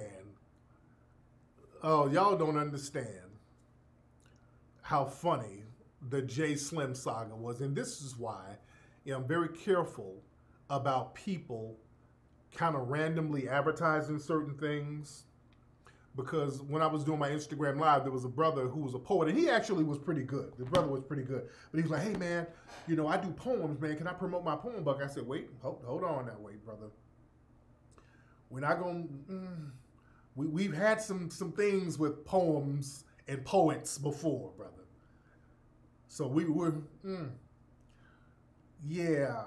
With the poems, um, yeah, we, we kind of had a little issue with that before, so I don't we, yeah, we don't really let people promote poems like that unless we really vet them. Yeah, last time that happened, all of us almost became accessories to a potential crime. the infamous Jay Slim. How many, some of y'all don't remember, some of y'all are new. A lot of y'all are new, and y'all might have heard us mention Jay Slim before, the infamous Jay Slim. This was back, this had to be a decade ago, almost a decade, at least a decade ago, on my Ustream shows. There was this brother named Jay Slim who called up to the show. And Jay Slim is a good guy. He's a, he wears glasses, a, a brother. He's kind of a nerdy guy. Jay Slim is kind of a, he was a nerdy guy. I'm, I'm who is Jay Slim? Jay Slim on my Ustream show and I used to broadcast on Ustream. Um, this brother called up and said he wanted to promote his poem book. He wrote poems. And again, this is kind of a nerdy, kind of a shy, reserved brother. So I'm like, oh, okay, just kind of a mellow, kind of nerdy brother. Hey, man, yeah, um, you know, I, I, I know you're an author, Tariq, and I'm an author, and I wrote a book of poems, and I wanted to know if I could promote my book. He seemed like a very mild-mannered, innocent dude. So it was very non-threatening. That was the thing. He's a UCJ Slim looks like a, a like a librarian or something. Oh man, he, he wouldn't hurt a fly. Oh, the nicest little sweetest guy ever. Not sweet as far as that, but just a real nice. Oh man, yeah, brother. And I was like, oh yeah, man, you seem like a cool brother. Yeah, what you got a poem book? Oh, that's cool, brother. Write poems. That's what's up, man. You're a fellow author, man. I like to see new brothers get in the mix, bro. So yeah, man, you can promote your poem book. What's what's your name of your book? Yeah, it's called um, Blood from My Heart. Blood from My Heart, huh? Oh, that's that's an interesting title. um, what's what's what kind of poems do you do, brother? Yeah, I do. Um, I do like a lot of romance, romance, um, you know, kind of exotic, erotic poems. Okay, I'm like, now it's getting kind of, it's getting interesting. Okay, really?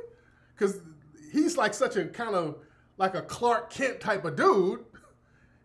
like, really? You don't look like, you know, you don't seem like you would do, you know, erotic poems, brother. Okay. Blood from my heart. Okay you know, you know, you know. I'm thinking he's about to do poems about butterflies. Yeah, like, yeah, I do romantic poems. Yeah, man, you know, you know, kind of romantic for the ladies. You know, spiritual. I said, okay. Um, where can I see your poems? Where can I see these poems? Hold on. Yeah, where, where, where can I see these poems, Jay? Yeah, go to my website, like bloodfrommyheart.com or some shit. It was something. I said, okay. So so I go to the website, and there's a, a, a, big heart with an arrow and blood coming off the heart. I'm like, okay, okay, this this is this is getting this is getting real interesting right here, brother. So I said, okay, okay, we're, we're hmm, okay. So where, where can I start here? Now, now it's it's getting real intriguing now so yeah, start with um, start with this poem. Sexual love assassination, some shit. I said, okay, let's let me read. Let's see. Let's read one of your poems and just kind of see where it's going here. Let's let's read one of them, brother. Yeah, let's let's read one of your poems. And the thing is, the poems they would start off kind of normal, then it would go way the fuck left it started off cool, and then that shit would go way over here. So, okay, okay, let's check out one of your poems. Okay. I think of you daily. I think of you now. I want to be your lover. I would like to be your spouse. But if I can't have your love, I don't want to go because I will creep up from behind and grab you by your throat. I, I say, bro, what, what's, what's that? Hmm. I said, damn, brother, that, hmm, that's, that, that's kind of, yeah, it would, hmm, damn, Jay, what, that, that's kind of creepy, brother. oh, no, you got to read another one. No, see, that, yeah, you got to read another one, brother. Ollie, okay. The, okay, the, read it. Okay, no, see, okay, this one you got to read. It. It's called um, "Silent but Sexual," and the titles were all weird. It was all these weird titles. Yeah, you got to read "Silent but Sexual." O- okay. All right, brother. Okay. I sit there in the park. I see you jogging by. You are looking the other way. You do not catch my eye. When I walk up from behind, you think that it's a dream, but your mouth is not covered because no one can hear you scream. Said, Damn, all this shit had something to do with creeping up on bitches. I'm like, damn, brother, this shit is real rapey sounding, brother. No, man, no, no, no, it's, it's exotic. What he was trying to do, I think he was trying to be like on some 50 shades of gray try to make it sound like aggressive erotic but it it mm, it wasn't coming off like that like nigga this shit is real non-consensual and everybody in the chat room was like oh shit is there anybody in that nigga's area missing yeah nigga these poems were freaking everybody the fuck out nigga Nigga, these poems are a beast, brother. Yeah, it was something about a tub. Yeah, it was something about a fucking tub. Everything had something to do. It, it would. He was trying to be. It was like super aggressive, erotic, but it was so non-consensual. It was real rapey. Like nigga. Okay, okay, okay. Look, okay, okay. You got to read the other one. Okay. This I got another one. It's better. This is more erotic. It's called um, Liquid Lust. Okay. Okay. I don't even want to read this shit. Mm. Yeah, I, am like now everybody's nervous. This nigga, remember y'all? Y'all remember this nigga's poems was making people nervous. Everybody like, can we? Anybody recognize this nigga's voice? Does this nigga sound familiar? Are there any victims out here that we need to report. This nigga was creeping us the fuck out with these poems. like, okay, what's liquid lust? Okay, liquid lust. Water, water everywhere, but not a drop to drink.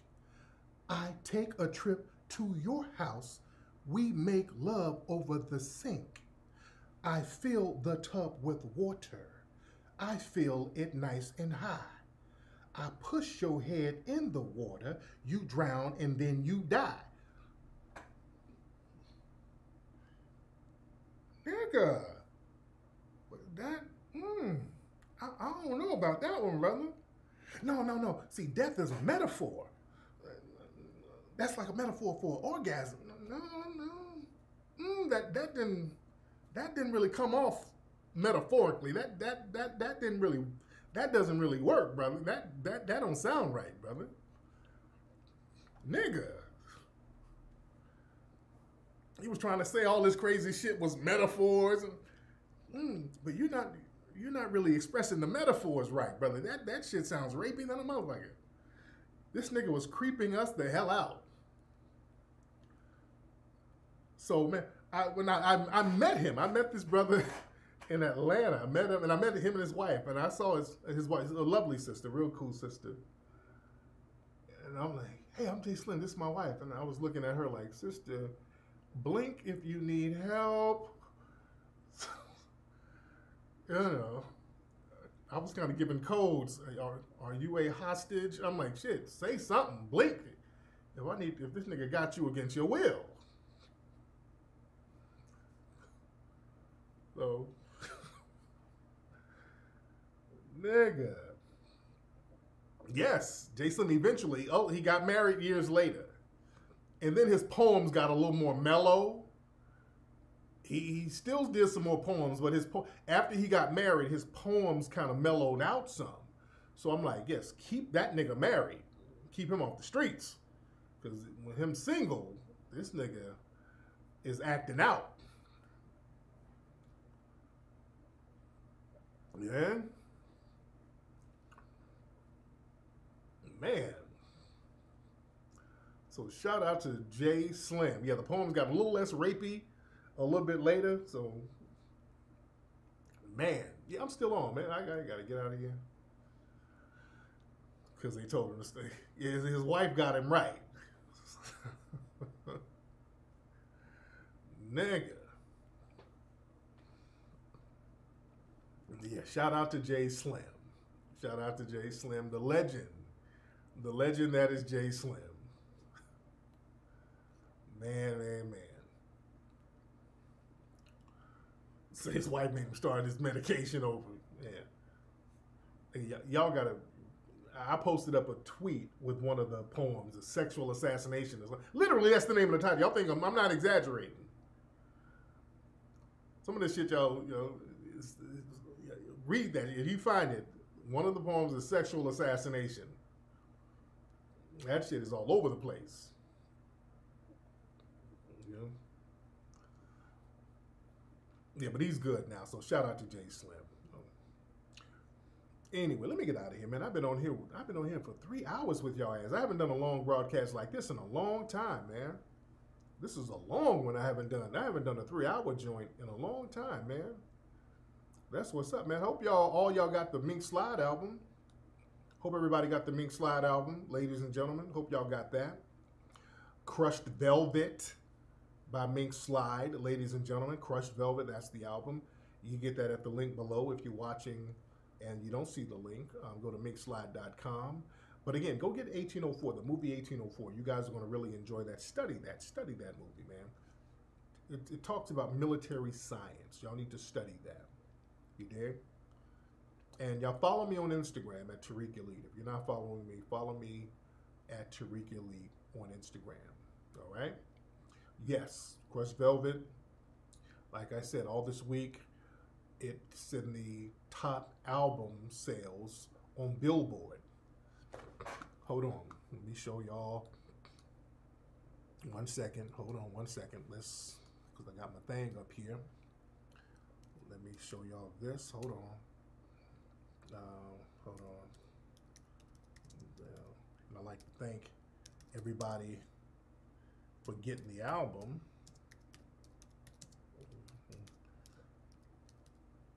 Thank everybody for getting the album this week. Uh, where am I? Where am I? Where am I? Where am I? Okay. Um, let me see. Da, da, da. iTunes charts. I'm, I'm looking at the iTunes charts too. Let me see where we are on the iTunes charts. I'm looking at a bunch of different charts here. Uh, hold on one second. Movement. Let me see. Crushed Velvet uh, was top 50 on iTunes. It went up to out of all the. I'm looking at some of these other charts here, by the way. Okay. Let me pull up my screen here. So what's this? Crushed Velvet, iTunes charts, Billboard charts. So yeah, current album charts. You see us right there. Billboard. You can Google it. You got to have an account to get on the Billboard charts online, but you can see that. So we're in the top 100 on Billboard. Let's go to, let's see, we're on the iTunes charts. Let's see, Google Play Music. Let me see what we're doing on Google Play Music charts real quickly. Um, Google Play, Google Play. Let's see where we are on Google Play. Music charts. Y'all bear with me one second. Let me double check that. Where the hell are we? Hold on. How the hell did I get to Google? Hold on. Y'all bear with me one second. But um, y'all gotta go to.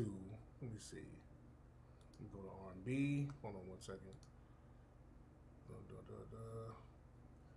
Yeah, go to Google Play and get that. Yeah, we're still on the Google Play charts here.